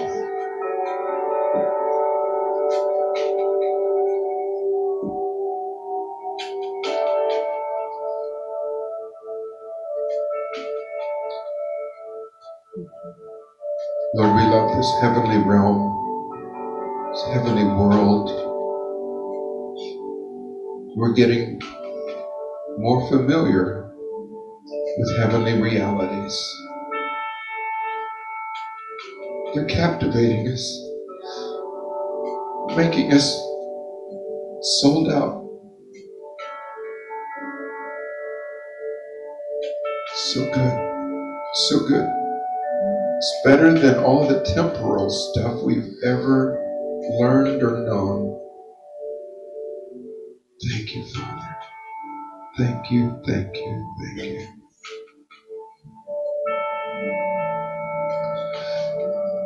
It's our desire, Father, to follow Jesus' invitation to learn to live with Him where He is.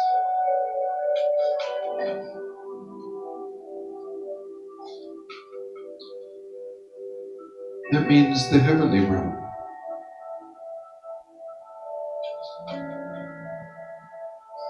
We want to get skillful, familiar at living in the spirit realm and learning what your spirit sounds like and what our spirit sounds like.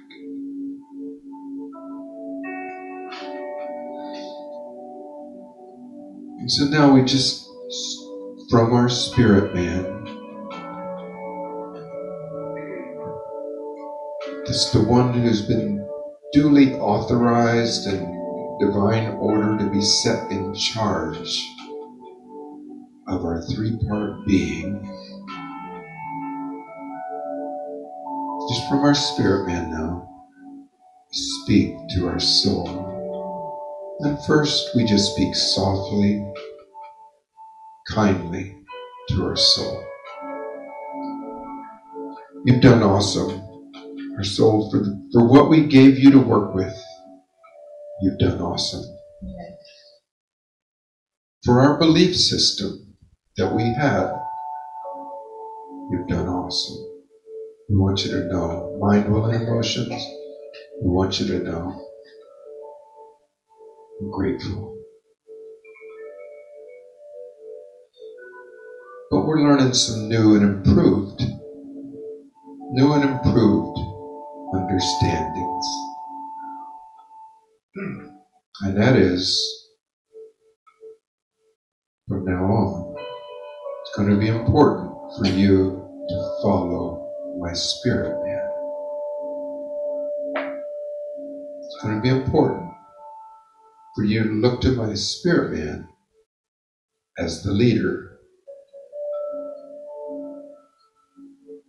So I bless you to be a good responder, a good partner, to work in concert with my spirit man, to feed me the right intellectual qualities, the right emotional qualities that are in keeping with where my spirit man is and what the Spirit of God says. My soul, you're going to do awesome with this. And let me give you a little teaser, my soul. Here's a little teaser for you. You're going to find healing in the process. Yes. As you come into right order, you're going to find healing. Memories, personality, and character issues begin to be restored. Mm-hmm. I'm sorry I let you be king when it wasn't right to be, and I let you run me in areas that we sustained some hits. Today, I want to make that right. I want to set things in motion so that we have a proper and a divine order in our being. So, man, I bless you. My mind, I just bless you as you process. Your CPU kicks in at times when I need you. And I bless you to spit out the right answers that support who Father God is and where my spirit man is. I bless you to be a good responder. My soul man, I mean, my emotions, I bless you to give me good and strong emotions when they're in keeping with the Spirit of God and what's happening in my spirit man. Oh, yeah, I, I bless those, the well of emotions to be unhindered, unrestrained, fully activated, a strong part of my being. My mind, yes. My emotions, yes. When you're in sync with my spirit man. And when you're not in sync, it's blessed you're going to have the ability to put the brakes on and you're going to listen to me, my spirit man. You're going to listen to me But I said, no, no, no, not going down that road. It's not time, it's not right. Not going down that road. My soul, you're going to be really good at this. We're going to learn to work in partnership. We're going to be a dynamic trio body, soul, and spirit. Yeah. Now, if you don't mind, you can look up here just a second, and just so you get the visual, and then I'm going to close my eyes again. My soul man has functioned, for all intents and purposes, has functioned kind of separate from my spirit. Not that it is real in reality. I'm just saying my soul wasn't very much aware of my spirit because I'm just, well, I'm just a man of intellect and emotions, right? But now what I want to do, because I'm speaking for my spirit, I want to reach down, see how this works for you. And again, if it doesn't feel good to you, no pressure, okay? No pressure. If it feels good to you, feels right, meaning if there's the witness of the Spirit in your heart's all right with, reach down and pull your soul up into sync with your spirit man. So here, I'm just going to kind of slow down now. I'm in my spirit man. Now, those of you who knew who Bob Jones was and were around him, if you ever remember seeing him, he'd stick his little pointy chin out and he'd kind of do a little kind of, and I don't know what that all was, but that was strangely, it kind of works for me, not the chin part. But it works for me to just kind of breathe in. In other words, kind of stop breathing and be intentional at breathing in. And when I do, my I feel like my spirit man could go down and begin to pull my soul. Oh, oh, oh that, that gets me. Just reach down around your soul. Mind, will, and motion, you're bringing them up to where everything is whole and pure. Remember, our spirit man is in holy communion, common fellowship with the Spirit of God. And we're bringing our soul right up to enjoy and appreciate that communion and that fellowship. Bring it right on up, on up. See it merging.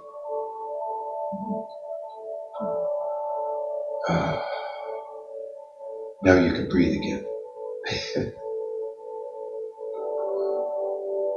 Maybe you need to do that again. Again, uh, now. I- don't know where my soul is exactly. And I don't know where my spirit is exactly, although Jesus did mention out of her belly shall flow rivers, right? So whatever that point is, I just sometimes it helps me reach there. Sometimes I put my hand on my stomach and I breathe in and pull up at the same time. Again, you're going to learn your way. Try my way. If it doesn't work, forget it. Do your way. Reach there and pull it up. Yeah, my soul, man. Yeah, enjoy, enjoy. Merge with my spirit, man. The Spirit of God.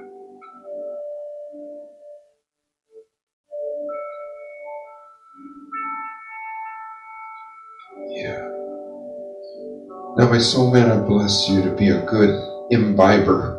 How you like that? Ingester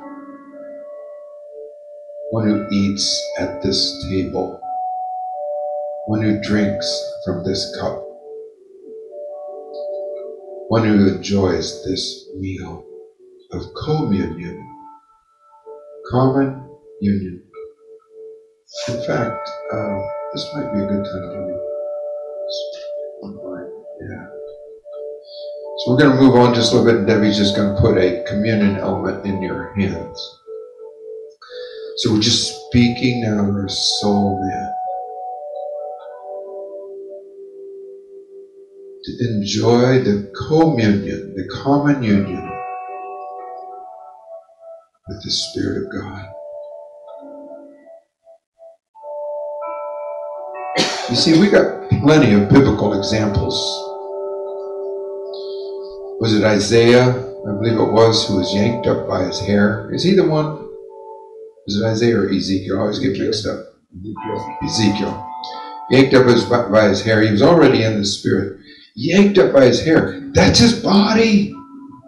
And taken 800 miles to another location, and God showed him some stuff.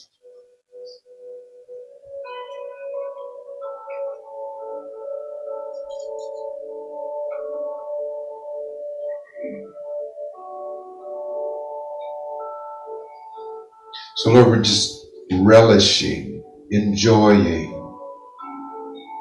this heavenly environment. I realize we're opening our little presents now, so give ourselves a little bit of time.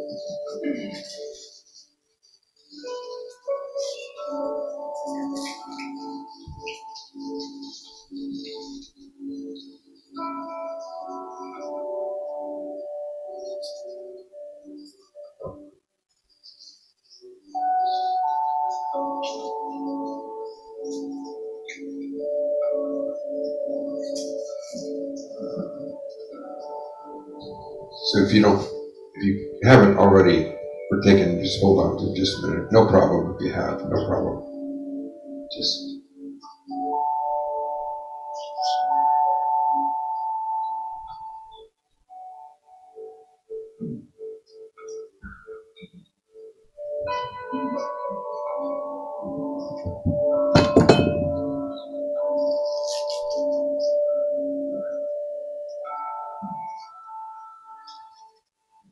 Thank you, Lord, for this communion. Jesus, you said, as often as we do it, do it in remembrance of you. Wow. And here we are with you, Spirit of God, our spirit man, and beginning to experience more unification, more unity with our soul and spirit than maybe ever before. This is a wonderful journey, wonderful trajectory. Where would this take us, Lord? If we found ourselves able to live in this reality. Wow.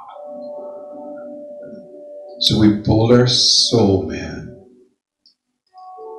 into unity with our spirit.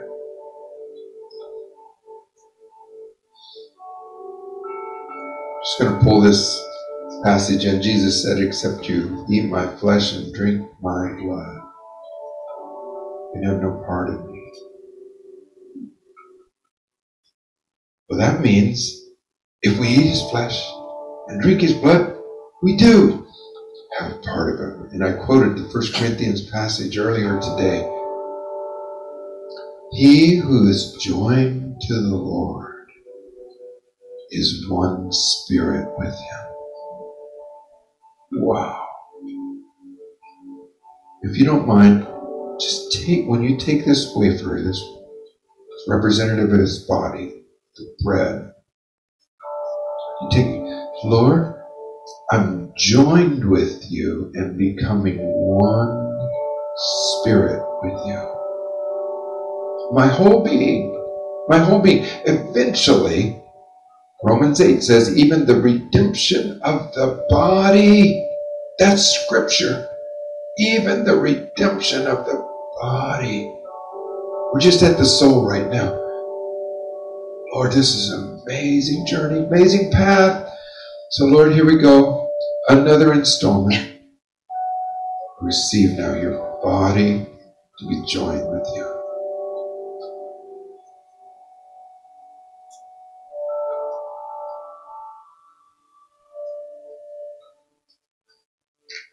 So one spirit with you.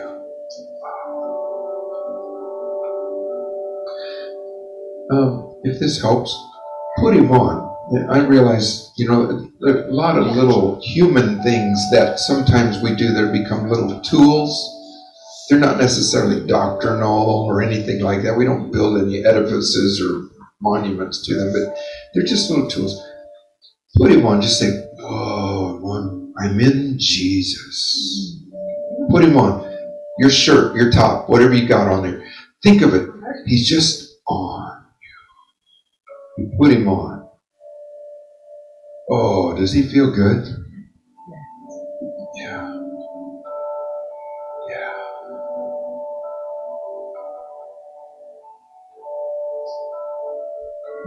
Let's speak to our body now. My body, I just bless you. I want you to know that I love you and I honor you. I'm so grateful that you've been a good tent, a good house, a good vehicle to take me through life. For the most part, you've done it in good health. And I appreciate that so much.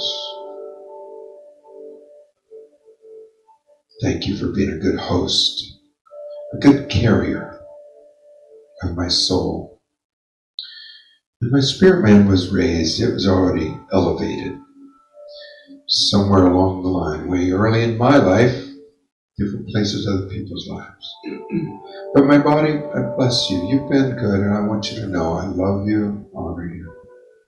But I also want you to know that today we're starting new rules, new ways, upgraded ways. I've let you be the determiner of my reality way too many times. And I want you to know that I'm giving my spirit man, from my spirit man, I'm speaking now. I'm going to begin to take the lead. Take the lead. And I'm blessing you, my body, to be a good responder, a good follower, a good partner, a good implementer, implementing what I feel the presence and Spirit of God is doing and saying. I bless you to be eager, ready, on deck, ready to go. And I speak to my body to be renewed. Even again, the Romans 8 passage. Even we ourselves groan for the redemption of the body. Wow. Lord, that's in there. That's in there. That that's what your dream is, and you put that little bait that little tantalizing incentivizer out there. Can you go after this? Can you believe for it? We love what you're doing, Lord. So we just speak to our body to be renewed.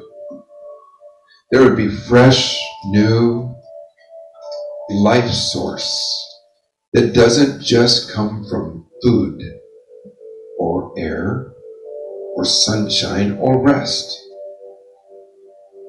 a supernatural, supernatural. And Lord, we understand in 1 Corinthians, your word says if we eat and drink unworthily, we can eat and drink damnation to ourselves. And that's why some are sick and some sleep. But the opposite of that is also true. That if we eat and drink worthily, that we eat and drink life to ourselves. So, Lord, I just want to speak to my body that my cells, my systems, would not just be made healthy, but, Lord, would be recreated in keeping with the original Adam before he fell and beyond. Even better that, Lord, my body's cellular makeup would be restructured so that the cycle of death, the cells that have a death cycle built into them, would be reversed, canceled out, and they would have a cycle unto life. Life to life. We believe in glory to glory. Why not life unto life, and to more life unto more life? We bless that process so that even our cells, bless you, my cells, right now, to come in keeping with, to drink deeply or receive deeply from the Spirit of God, from the heavenly realm. Yeah. What it means to have the redemption of the body. We bless myself. I bless you in Jesus' name. To be renewed. The original design. Everybody say original design. Original design. And so, Lord, here we are. The life is in the blood. And so, we receive now the life that's in this blood.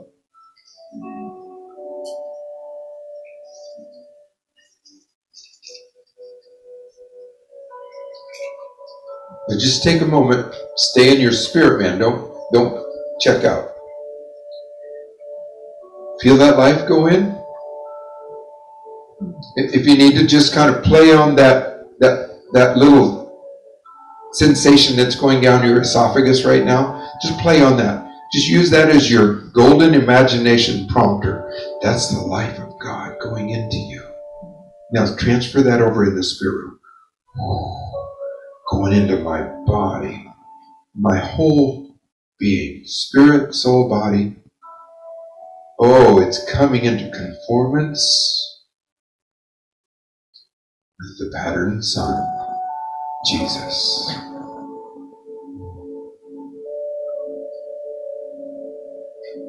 We love your ways, Lord. They're so good. They're better than our ways.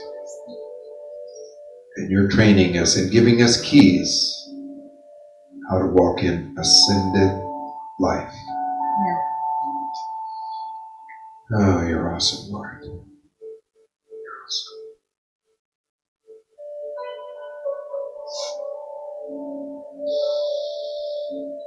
Okay, so Soul Man, thank you for participating with me and yielding. And I bless you as you yield over and over and over again until there will never be kind of this straining back and forth, but there'll just be this harmonious oneness. How good it is and how pleasant it is when my three part being works in unity. Something like that. so thank you, Lord. You're awesome. Amen? Okay. Anybody have an experience there you'd like to talk about during our time? Did you see something happen that was fresh or new or beyond what we'd experienced before and you're like, okay.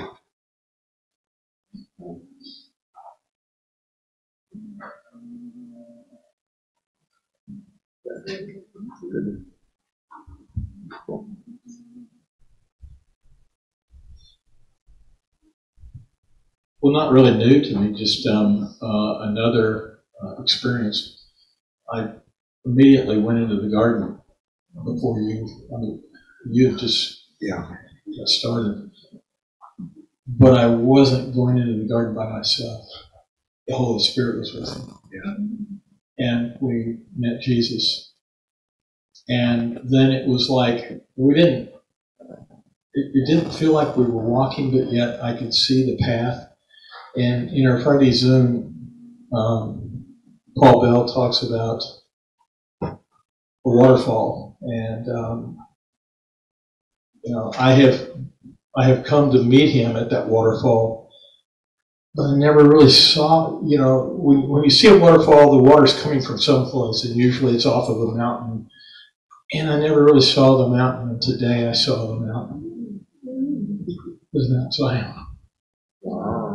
And Holy Spirit Jesus taking me to Papa. And he just grabbed a hold of me and held me. And as you continued to speak, it was like I became one with all three. Hmm. And it was just so invigorating, so peaceful, so loving. And at one point, I was on my knees, and he picked me up and held me again. And it was just, um, he said, I knew you before the foundation of the earth. You're my beloved son.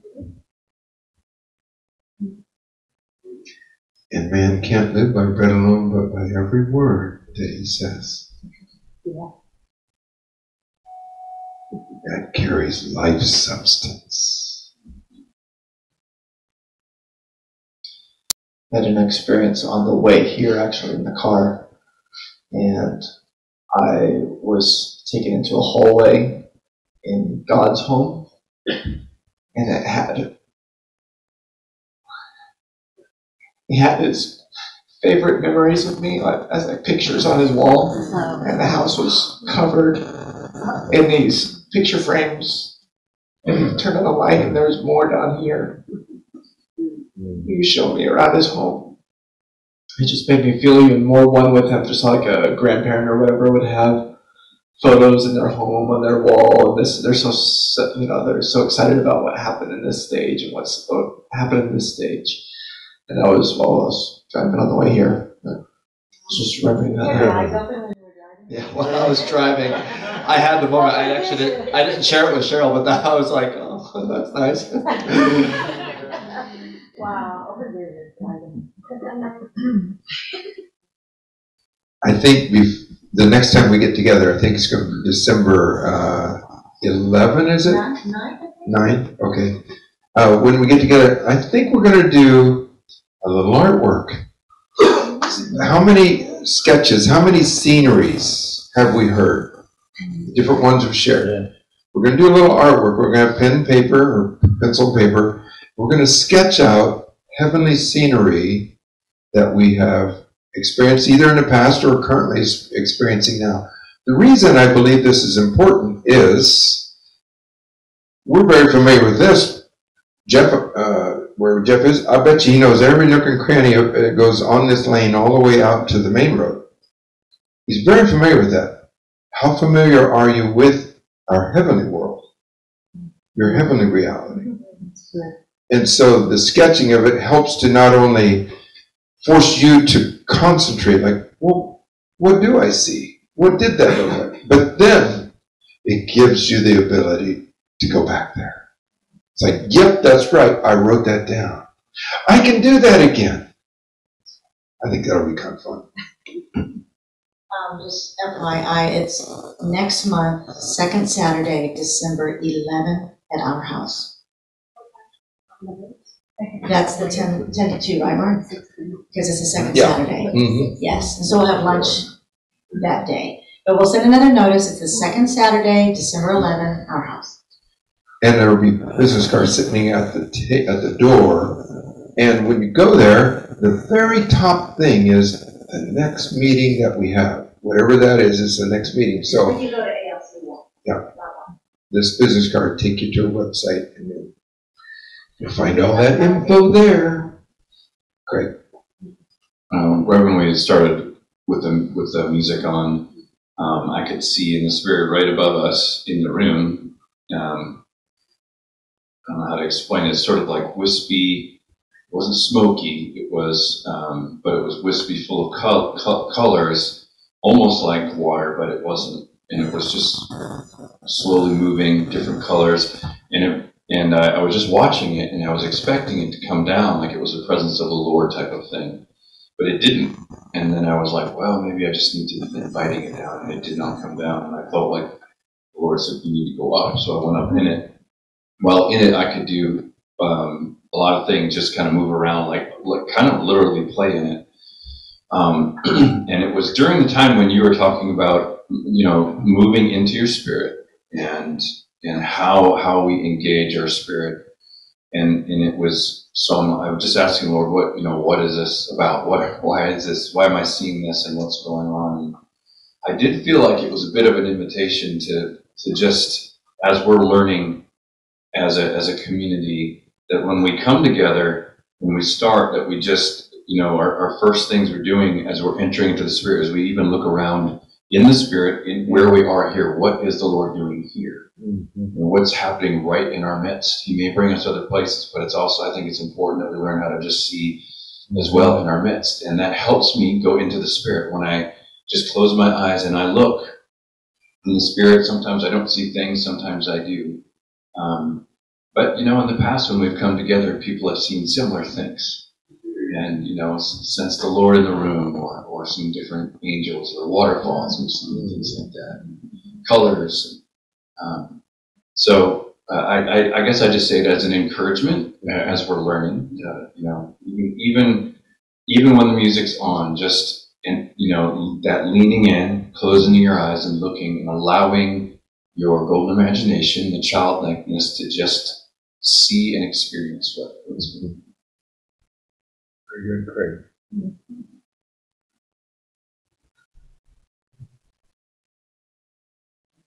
So I had an experience early in the week that I wanted to tie into your reorientation of our our being. Um,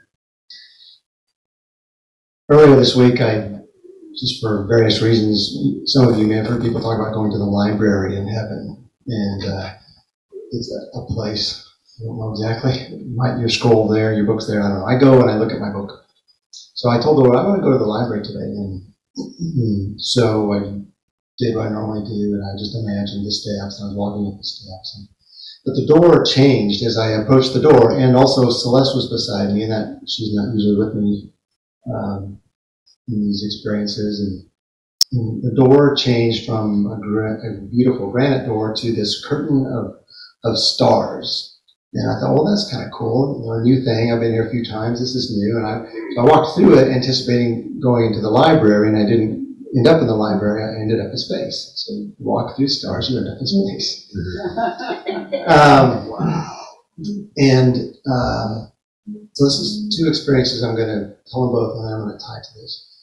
Um, so there I was floating with Celeste, and an angel that I encountered quite a bit. I can call him, you know, my tutor. Uh, his name is Johansson. He was sitting there at a desk in space. so, and it was kind of kidney shaped, uh, and the desktop was liquid. Yeah, well, this is weird, you know.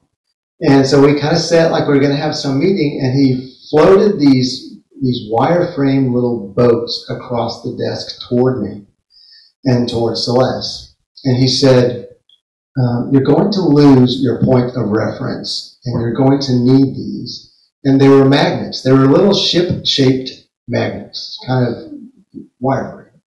And after he said that, he took them and he put them in our heads. So I, I thought, oh, okay, orientation, magnets, compass, that makes sense. Uh, you're in space, you, you lose your point of reference, there's no up, down, left, right, they're just, you know, you forward, whatever. So I said, okay, wait a minute, I gotta write this down, I'm gonna forget it. So I stopped and journaled all of this, and I said, great, I still wanna go to the library. Because I didn't get in. And um, so I went back, went up the steps. The door was normal. I went through the door. I went up the, the light escalator, is what I call it, to the third floor where my book is. And there was an angel who hands you your book, and he's an attendant. And this time, I'd never done this before. I asked him his name. I said, What's your name? And this happens to me every time I ask an angel his name. It's about six miles long, and there's no way I can remember it or even pronounce it. And then they'll say, But you can call me. Oh. So, so, but you can, he, so he said this long name. He said, "But you can call me the keeper." I said, "Okay, "Great, I can remember that." so he, I said, "Okay, you know, can I have my book? I want to take a look at some things." And he said, uh, "Yes, but you need to keep it kind of narrow and not, you know, wander off." I said, "That's fine." And as he handed me the book, he said, "These relationships that you're developing are fundamental to what's about to happen, and you need to establish them." And I knew right away because over the last couple of weeks, I've had more meetings, more dinners, more connections with more people than I have probably in the last three or four years. And I, knew it was specifically regarding this group. So I said, oh, okay. But when he said relationships, my whatever brain, whether it was just free association, the Holy Spirit, or whatever, said relationships. And I thought, oh, wait. Oh. orientation, losing my points of reference, ships, relationships with people. And so, okay, uh, and so that sent me spiraling for a minute. Like, okay. So I've been pondering this all week, and um, I want you to think about this. Now, what happens if you want to magnetize a piece of metal? You can stroke it in the same direction each time, and it will be magnetized or get you pulled. So having a, a compass in our minds oriented properly is exactly what you were talking about. We're keeping that spirit man, that that uh, soul man in the body oriented properly because when our points of reference are taken away from us, we need to not be guided by our emotions. We need to not be guided by our, our appetites. Uh, you've been teasing me about dessert. Uh, we need to be oriented by that kainos man that is going the right direction in the first place because it's already coming. So, but now what happens when you put magnets together? They gather together, they orient themselves, positive and negative, but they still have as a group an orientation that is north-south, right? So when we gather together, these relationships that are already now properly oriented because you just taught us mm-hmm. about how to properly orient them, even though our points of reference are being taken away, we can, as a group, remain oriented, oriented, and as we, as the body, encourage one another, build each other up in love, and uh, all those good things that we know about what the body does. I, I think we begin to establish, um, you know, a body that uh, is not thrown by what's going on and has a vector in the right direction. So, consciousness. Yeah. That's incredible. And what was it, relationships? The magnet things. Yes. Oh, and the, the thing that helped me with that is how birds migrate. There is something in their bodies that knows the orientation. And so the Lord has put us, that kainos man, in our body. Uh, It, it knows the orientation. oh, that's good. Their spirit, sorry, I've been corrected on that. Yeah, that's right. Wow. I received Wow. I, I absolutely received it. Yeah. How should we respond to that? Anything? Wow. Anybody got an idea? How should we respond to that? Should we activate in that? Anybody know of anything? Great, perfect. So I saw these, so I saw these, uh, good-sized flat stones that have been in a river for many, many years, and they were smooth. So when you laid them down on the ground, uh, they just really fit together well. And lo and behold, they, they were a path.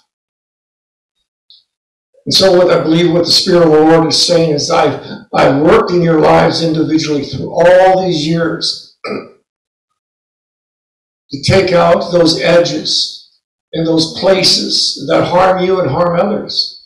I perfected you into a, small, a smooth stone for others to walk on. So what I saw, so that's an individual prophecy, but the group prophecy is I saw a path going off into the distance of all of those smooth stones brought together for the next generation to come and to walk on those smooth stones. Yeah. And this group is that path. Hmm. He's brought you through your lives, through all the testing and all the fire and all the chiseling, all the disappointments, all the failures, delivering you from your sin patterns, healing your wounds. Made you smooth. Mm-hmm. But he's brought you together with a beautiful group of people that he's going to use, fitly joined together for the next generation. Mm. Boom. Boom. Good. Yeah, the, Sylvia and I, part of our gifting is to find people and connect them to different things. Definitely, we just seem to do that. And we really enjoy it because it's always around a meal and it's around fellowshipping and that kind of thing. But, you know, uh, in building relationships, we have to go beyond just this meeting. There has to be more continuity with all of us. I know we see it on the Zoom, but spending time with one another is so valuable. And uh, going that extra effort to have dinner and to connect outside of even the group and building those relationships is so important in this in this time. And uh, you know, I was I was thinking about you, you told us to watch Neville Johnson, and I, I would, one of the things that captured my mind there was my heart was the fact that he, and somebody may have missed it, but he said, "I live with in the spirit realm." He says, "I see the angels all." The time. He says, "In fact, I have to turn it off." occasionally because it's just overwhelming. And I think that we've, we've got these uh, pioneers that, have, that God has given us to be able to look at. A couple years ago, we would have thought they were New Age gurus, but realize today that they are the forerunners that have gone before us to to give us something not just about seeing occasionally in the spirit, but actually living there. Mm-hmm. And all of a sudden, we've been taken from this here to this to this. Mm-hmm. And God keeps expanding that to where I just, it's just an endless. You know, the kingdom is endless. Great. And John, wasn't it last night you were listening to Neville Johnson? Yeah. Through the night, Uh, two nights. two nights ago, and he was having encounters all through the night. Every time he wake up, he I was. kept waking up with him in my dreams, talking in my dreams. I woke up and I'm like, what? He's still in my Heaven again. This is- Yeah, it was great. For those that want to know, Mark sent out that video to all of us, right? And I think we're gonna watch the short one here in a minute. Okay. It was very good. And you think, Mark, I, I know you got appropriate responses to eat intentionally. Okay. Tongue in cheek, but um, when we sit down together, not just eat. I mean, when we sit, down, we're gonna eat here, I hope, here pretty soon. But, um, so- but to do that with intentionality is my point, is that, uh, that, um, that's right. That, the, the groundwork that's being laid, like the stones that he just talked about, the groundwork that's being laid, these stones are a foundation, you know, to a pioneering new work that we don't even fully understand ourselves, but we know that we're breaking ground, and that foundation is fundamental, you know, it just, it is. All things Yeah. are. And so, you know, every, every meal, every conversation, every opportunity, every, every testimony, uh, is laying a foundation with these stones to lay the path. With dessert. I'm gonna eat with intentionality. Steve, eat, food. Oh, I think that was a prophetic word.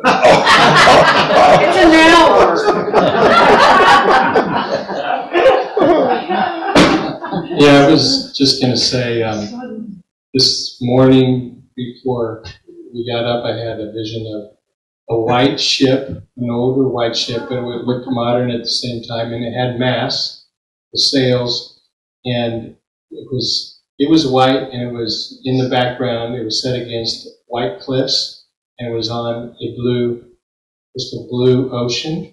Wow. And I had Mary Kay asked me, what do you think it means? I'm like, I don't know. I mean, but the scripture that came to me was in Psalm where it says, those who go down to the sea in ships, who do business on great waters, have seen the works of the Lord and his wonders in the deep.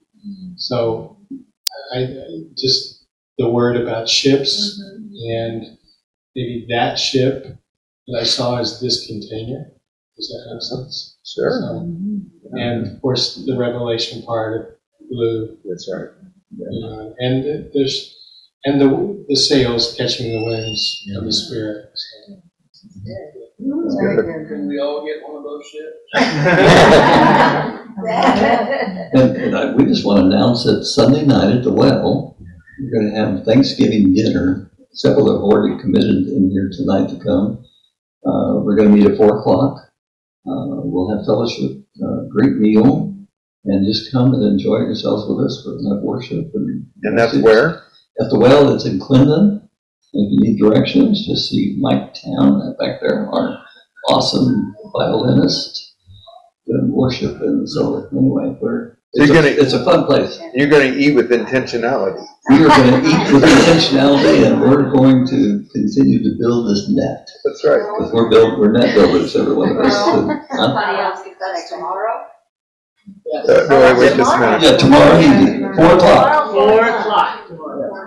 But you need a count probably for food? We'll have one. We'll have. Okay, have fun. Super.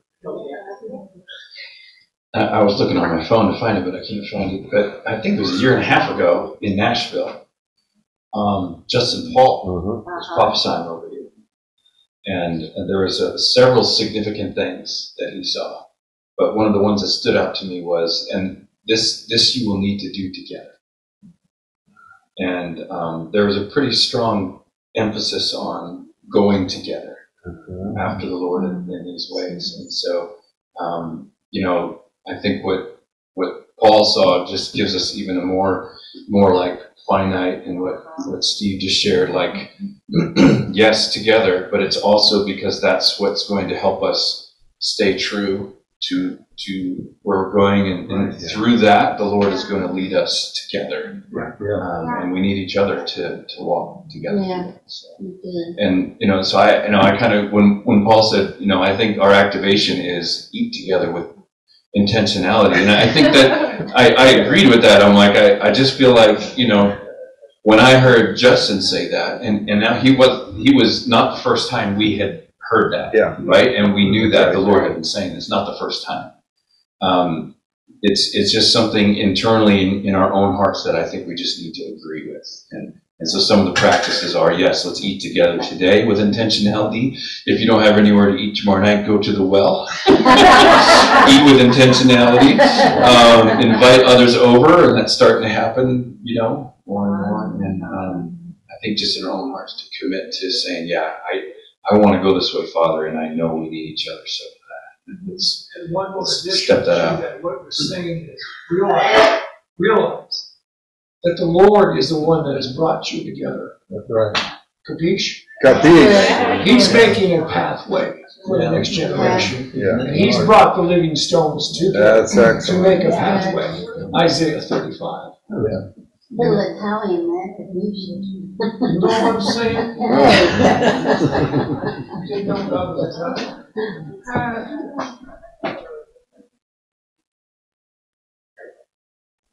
Anybody else?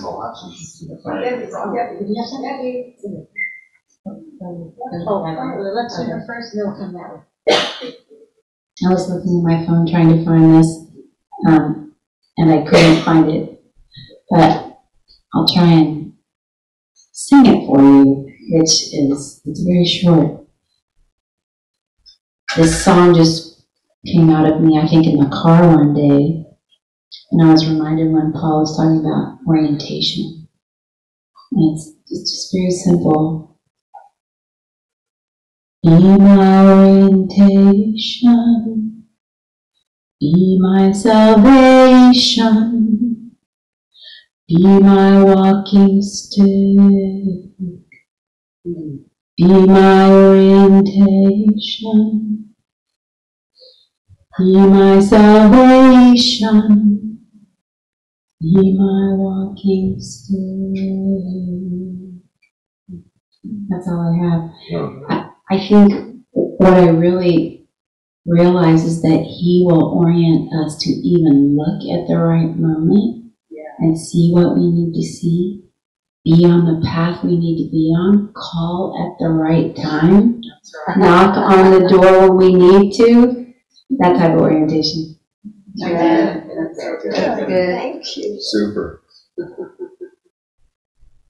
Be my orientation. Be my Salvation, be my walking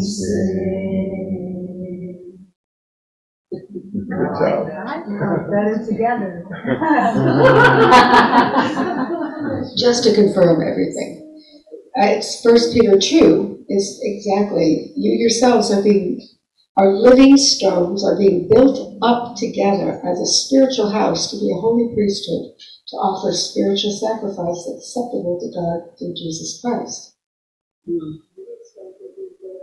As a living house, right? Or Yeah. living. And to live, you have to eat. If you don't eat, you'll die. Not true. We'd have food to Might eat, start but to he knows grill. Leave it. That's why we bring Steve. So we don't forget to eat. Oh, super. Okay, so I'm going to set something up and I'm going to have uh, Jeff pull up a video behind that. Some of us. Uh, let me get this.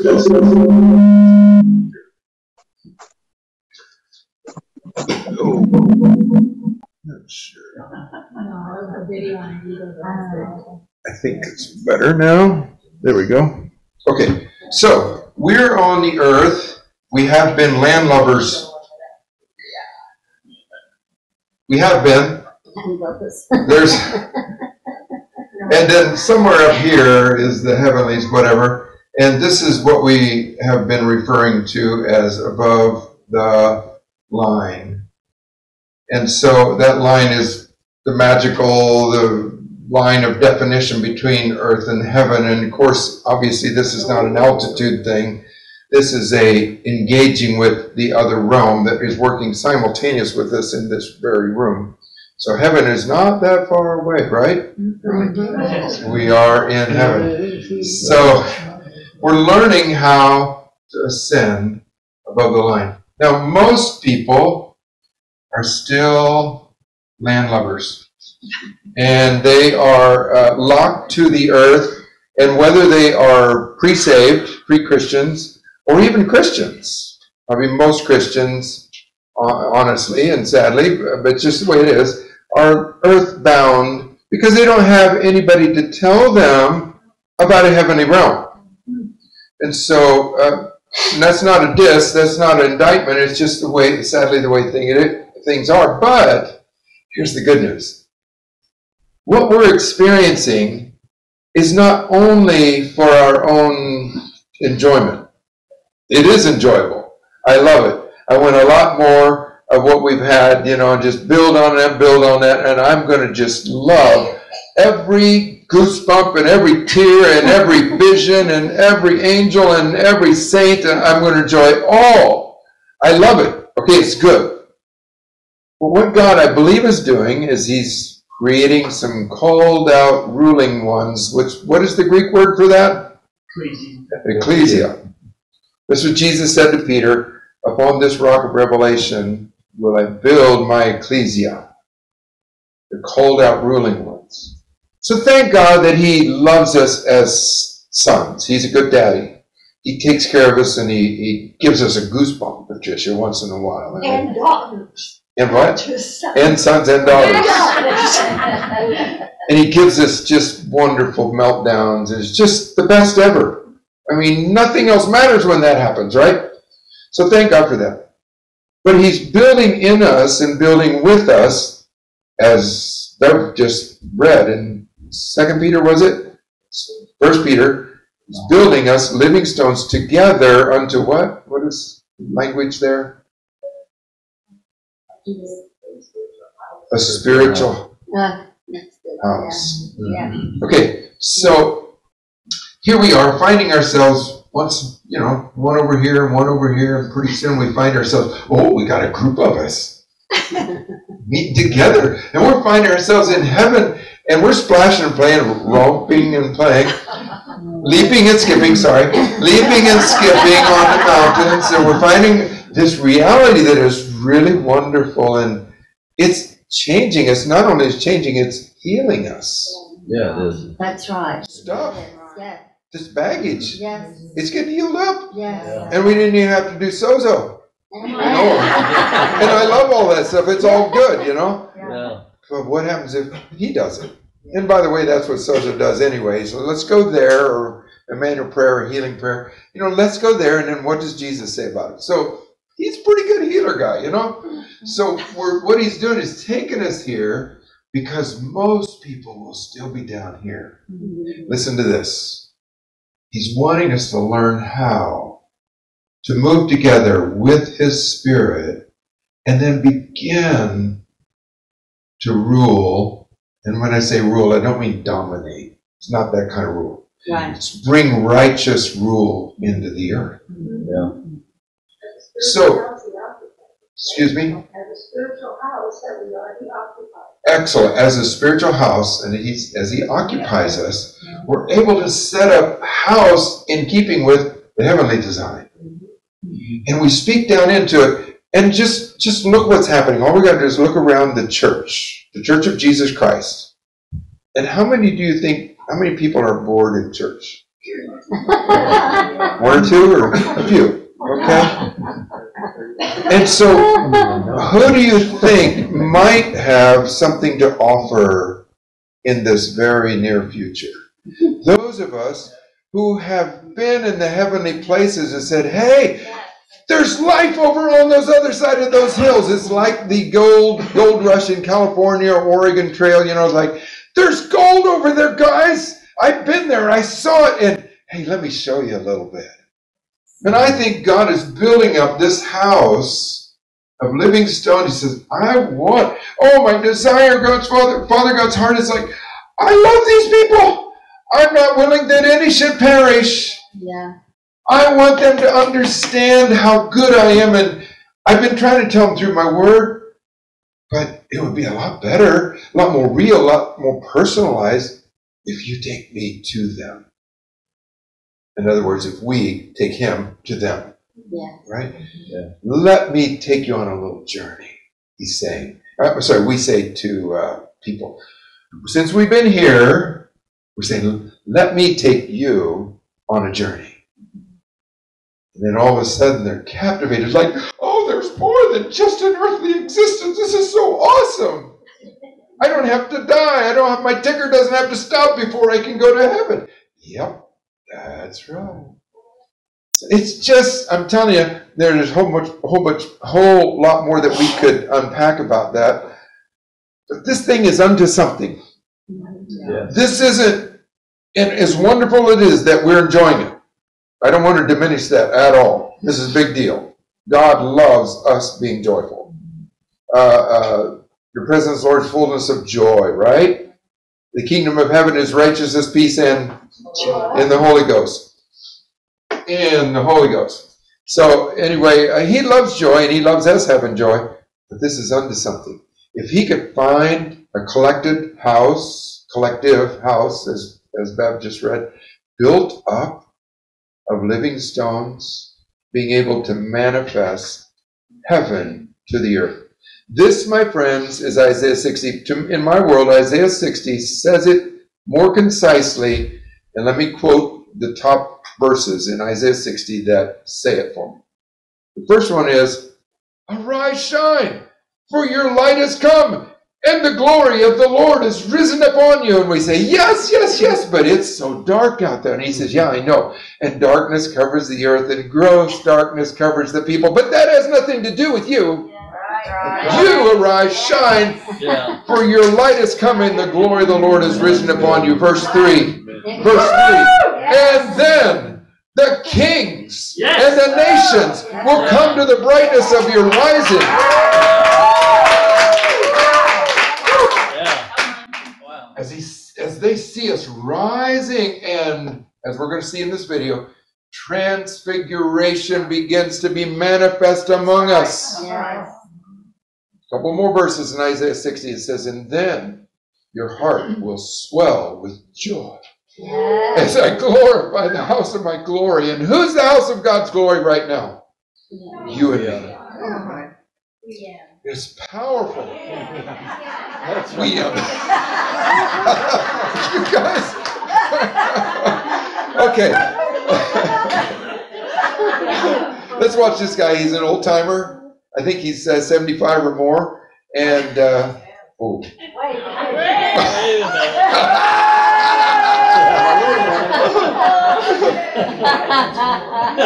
Good point, you good point. The point is, he's a seasoned veteran and he's still fresh and youthful and moving into new territory. Neville Johnson. Oh. He's repeating James and John, and my mountain was Is that okay? transfigured. You know, was the resurrection body. He was showing them what the Is it here? people of life. I can't get that, I can't get ever get that to work. Where is it? I'll just do it right here.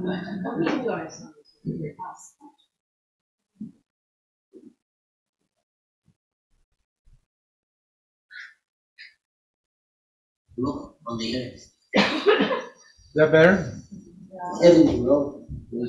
Where's the speaker? Right here? Saints were on the earth. She can do it. Oh, now we're talking. You know, if you die tonight, that's not prophetic, but. say, say, say this man here. Okay. Say he died tonight, has a heart attack, like, poof, his spirit comes out of his body, right? And so he can still see you because his spirit came out of his body, but he can see the entire spiritual world. Right?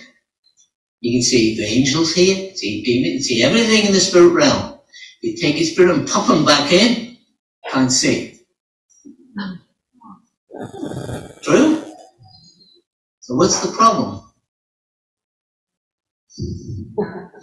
That's the problem.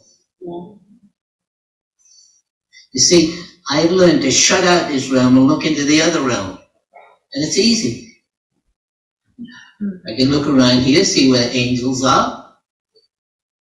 Over here. Yeah. Many angels. And to back that off and look at you.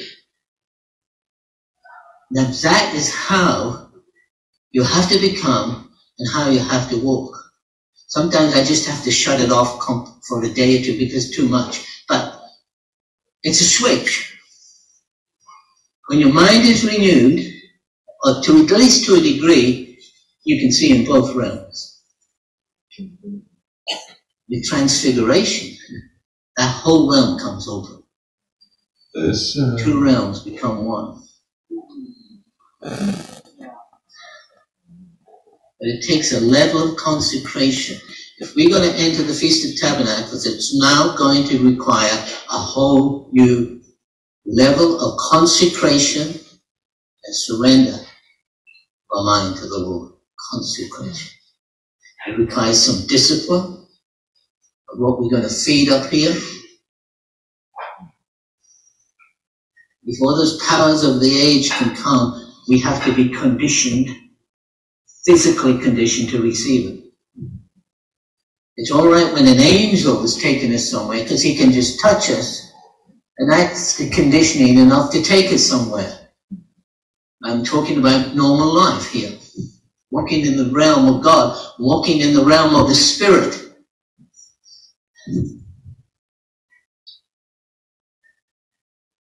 You know, Venus has been in a special situation over the last few months. It's gone now with those line, special alignment. You know, Venus is the morning star, right?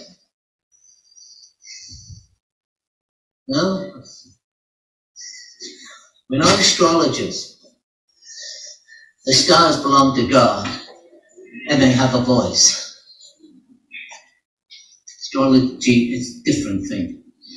So, what's God saying? What is God trying to get across to us? You know?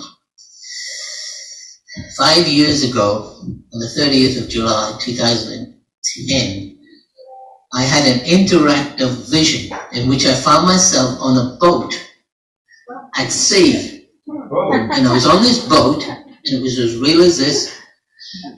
I was on this boat, and I thought, where am I? And I was at the back of the boat, and I looked at the front of the boat, and Jesus was standing at the front of the boat. And I thought, oh, that's okay.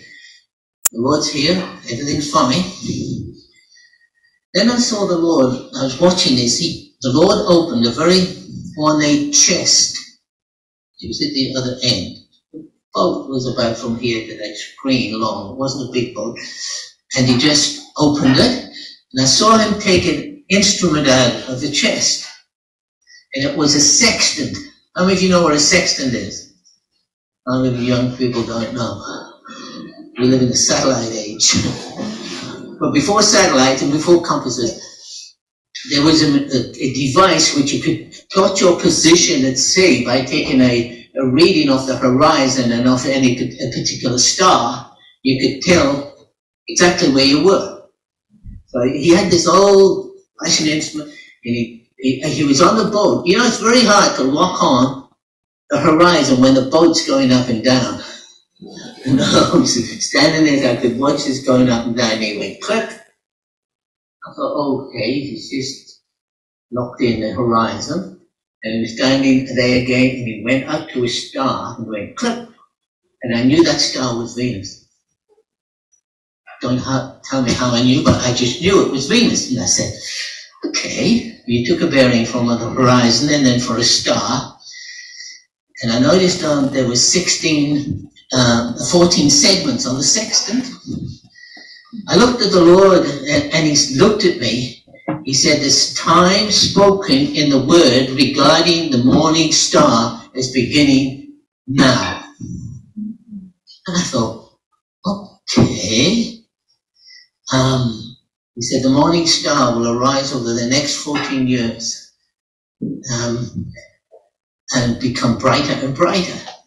He said, I will arise in my people like never before, and at evening time it shall be light. And I know that was a scripture, but I couldn't figure out where it was until I came out of this.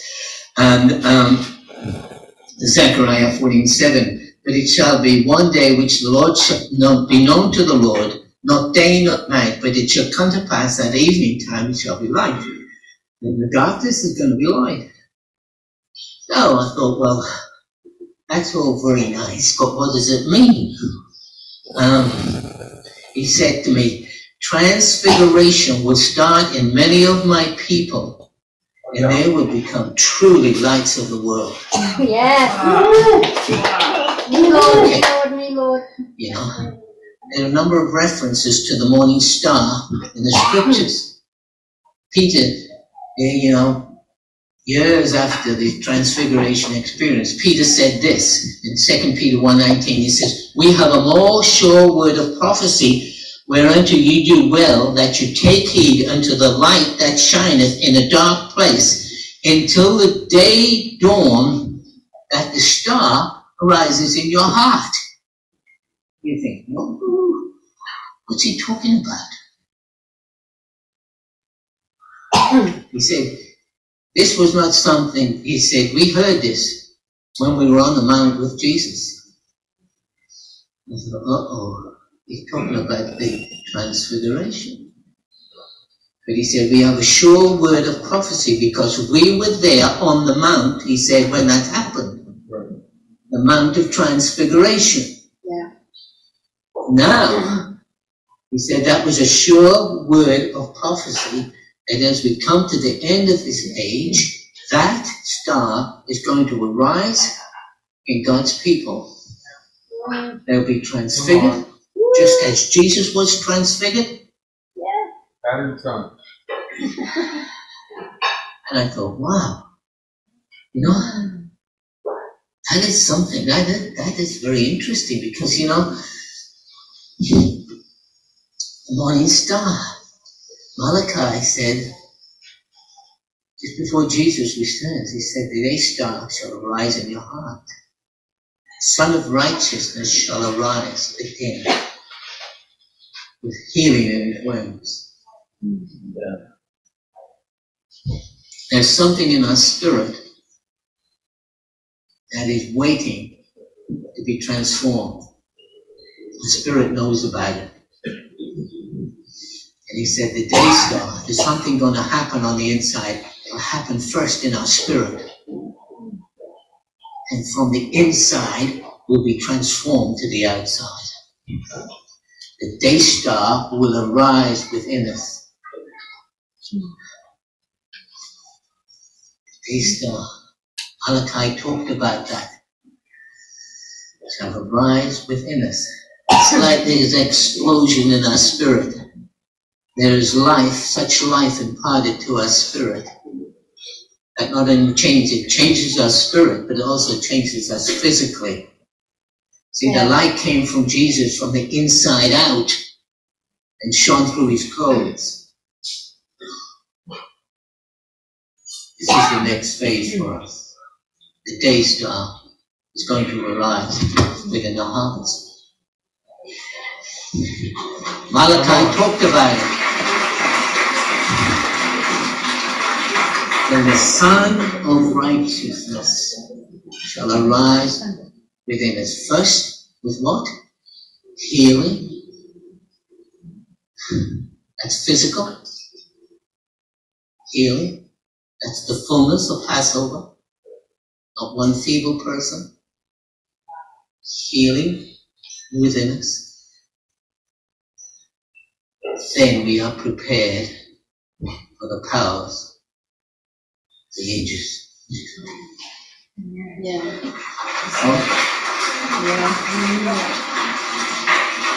There's a word of caution which says, the Bible says, you know, those who have tasted of the powers of the world to come, if they fall away from the faith, will not be forgiven. That's the downside. Serious. Yeah. That's what he said. Tasted of the powers of the world to come and turn against the Lord, they shall not ever be forgiven. There's a massive responsibility comes upon them. You know, there's no falling away.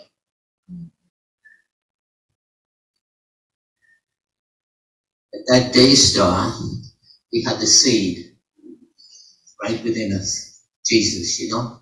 Mm-hmm. It's there. We have his DNA sitting there. Just needs a slight spark, that's all. Come on. Transformation. Yeah. We go from a caterpillar to a butterfly mm. or an eagle. Son of righteousness shall rise within us, with healing in his wings. Are you getting this? Yeah. You know, I don't have a point one, point two, point three.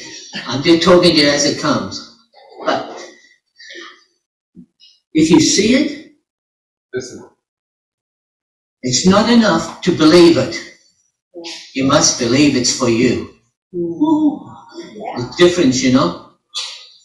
You say, oh, I believe that. Yeah. But do you believe that's possible for you? Yeah. Do you believe that is God's will for you? You say, but I'm nobody. That's good ground.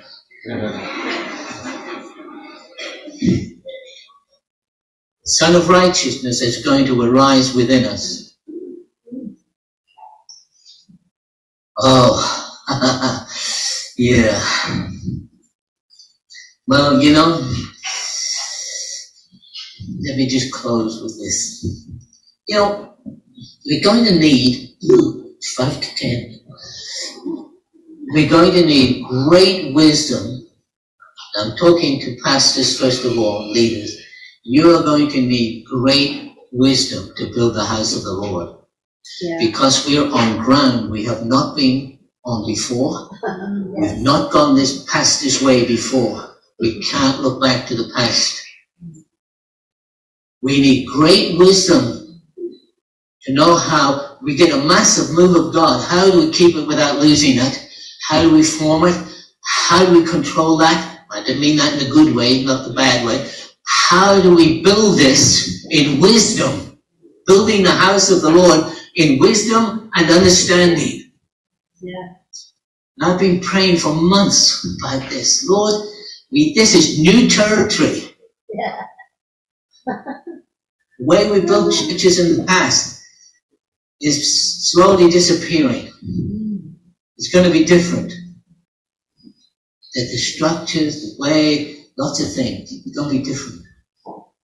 Lord, how do we build the house of the Lord? You need wisdom. And in your sphere of influence, whatever it is, you need wisdom now. It's different realm we're going into. You need wisdom and understanding to be successful in your realm of influence. You might be a school teacher or whatever. You need That's it. Isn't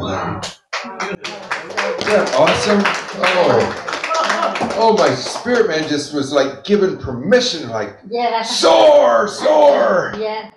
That's uh, amazing. I uh, several key phrases. Uh, this is the next phase for the body of Christ. So you said, well, what does that mean? So, uh, anybody ever remember the outpouring of the baptism of the Holy Spirit in Azusa Street?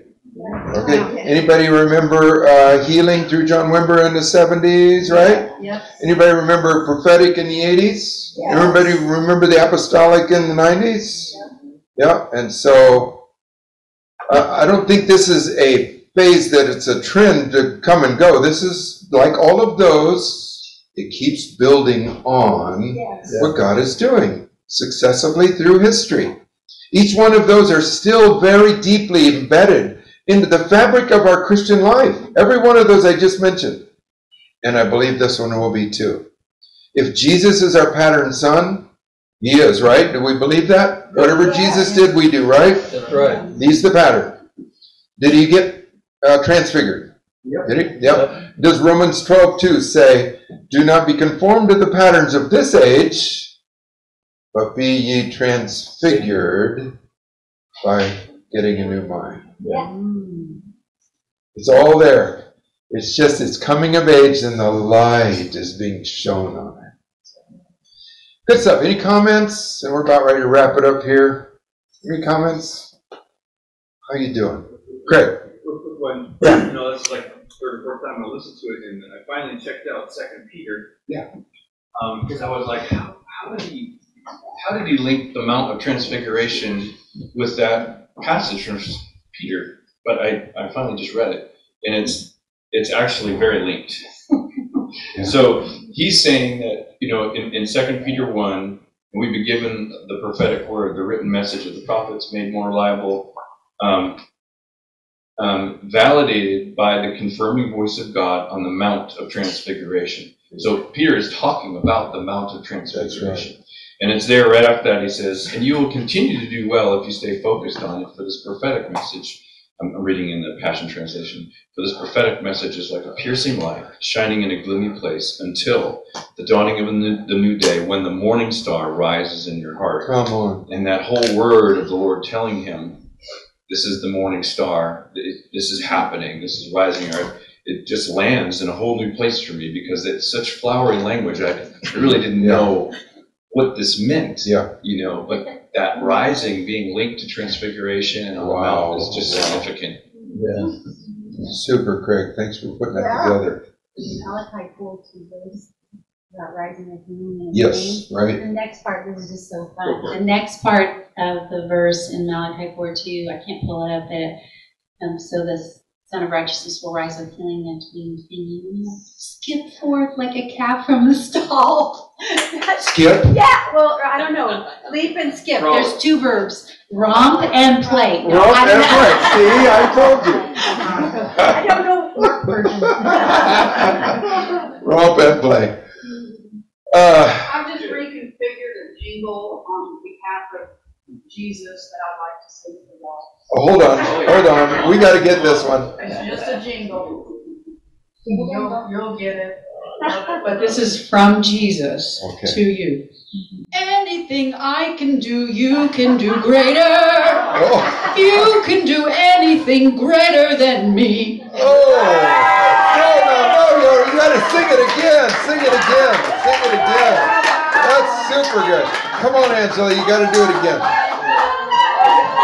Oh, that's super. You want me to do it again? Yes. Okay, Jesus, come on. Anything I can do, you can do greater. You can do anything greater than me. Oh, yes. Oh, that is so good. You just never know. You just never know around here. Okay, I have a response back. Sorry for those in the 70s that grew up Peter, Peter Frampton. I'm in you, you're in me. I'm in you, you're in me. And uh, no, I forgot the rest of the part. It goes uh, something about the love, love, uh, and now you've gave me your love, love that I've never had. I'm in you, you're in me, cause you gave me your love, love that I never had.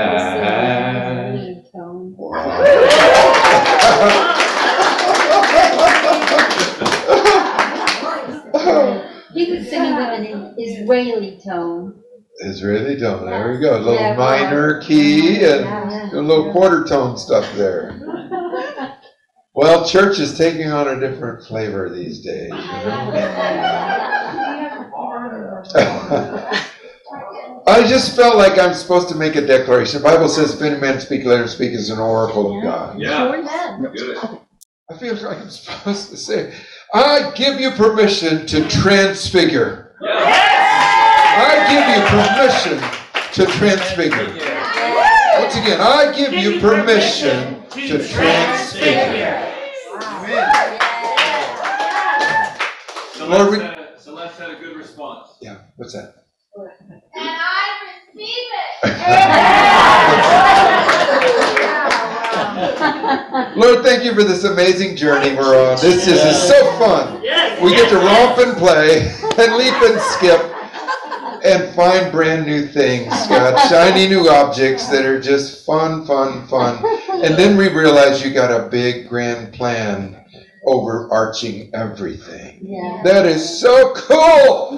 We're so happy to be your kids and come into your kingdom more dynamically than we ever, ever thought possible. Amen.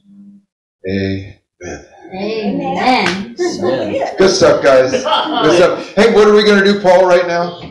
Eat intentionally. So I think Jeff has the burgers on the grill now, so it'll be a few minutes before we start. So as soon as he brings them in, everything is ready to start. We'll do that in a few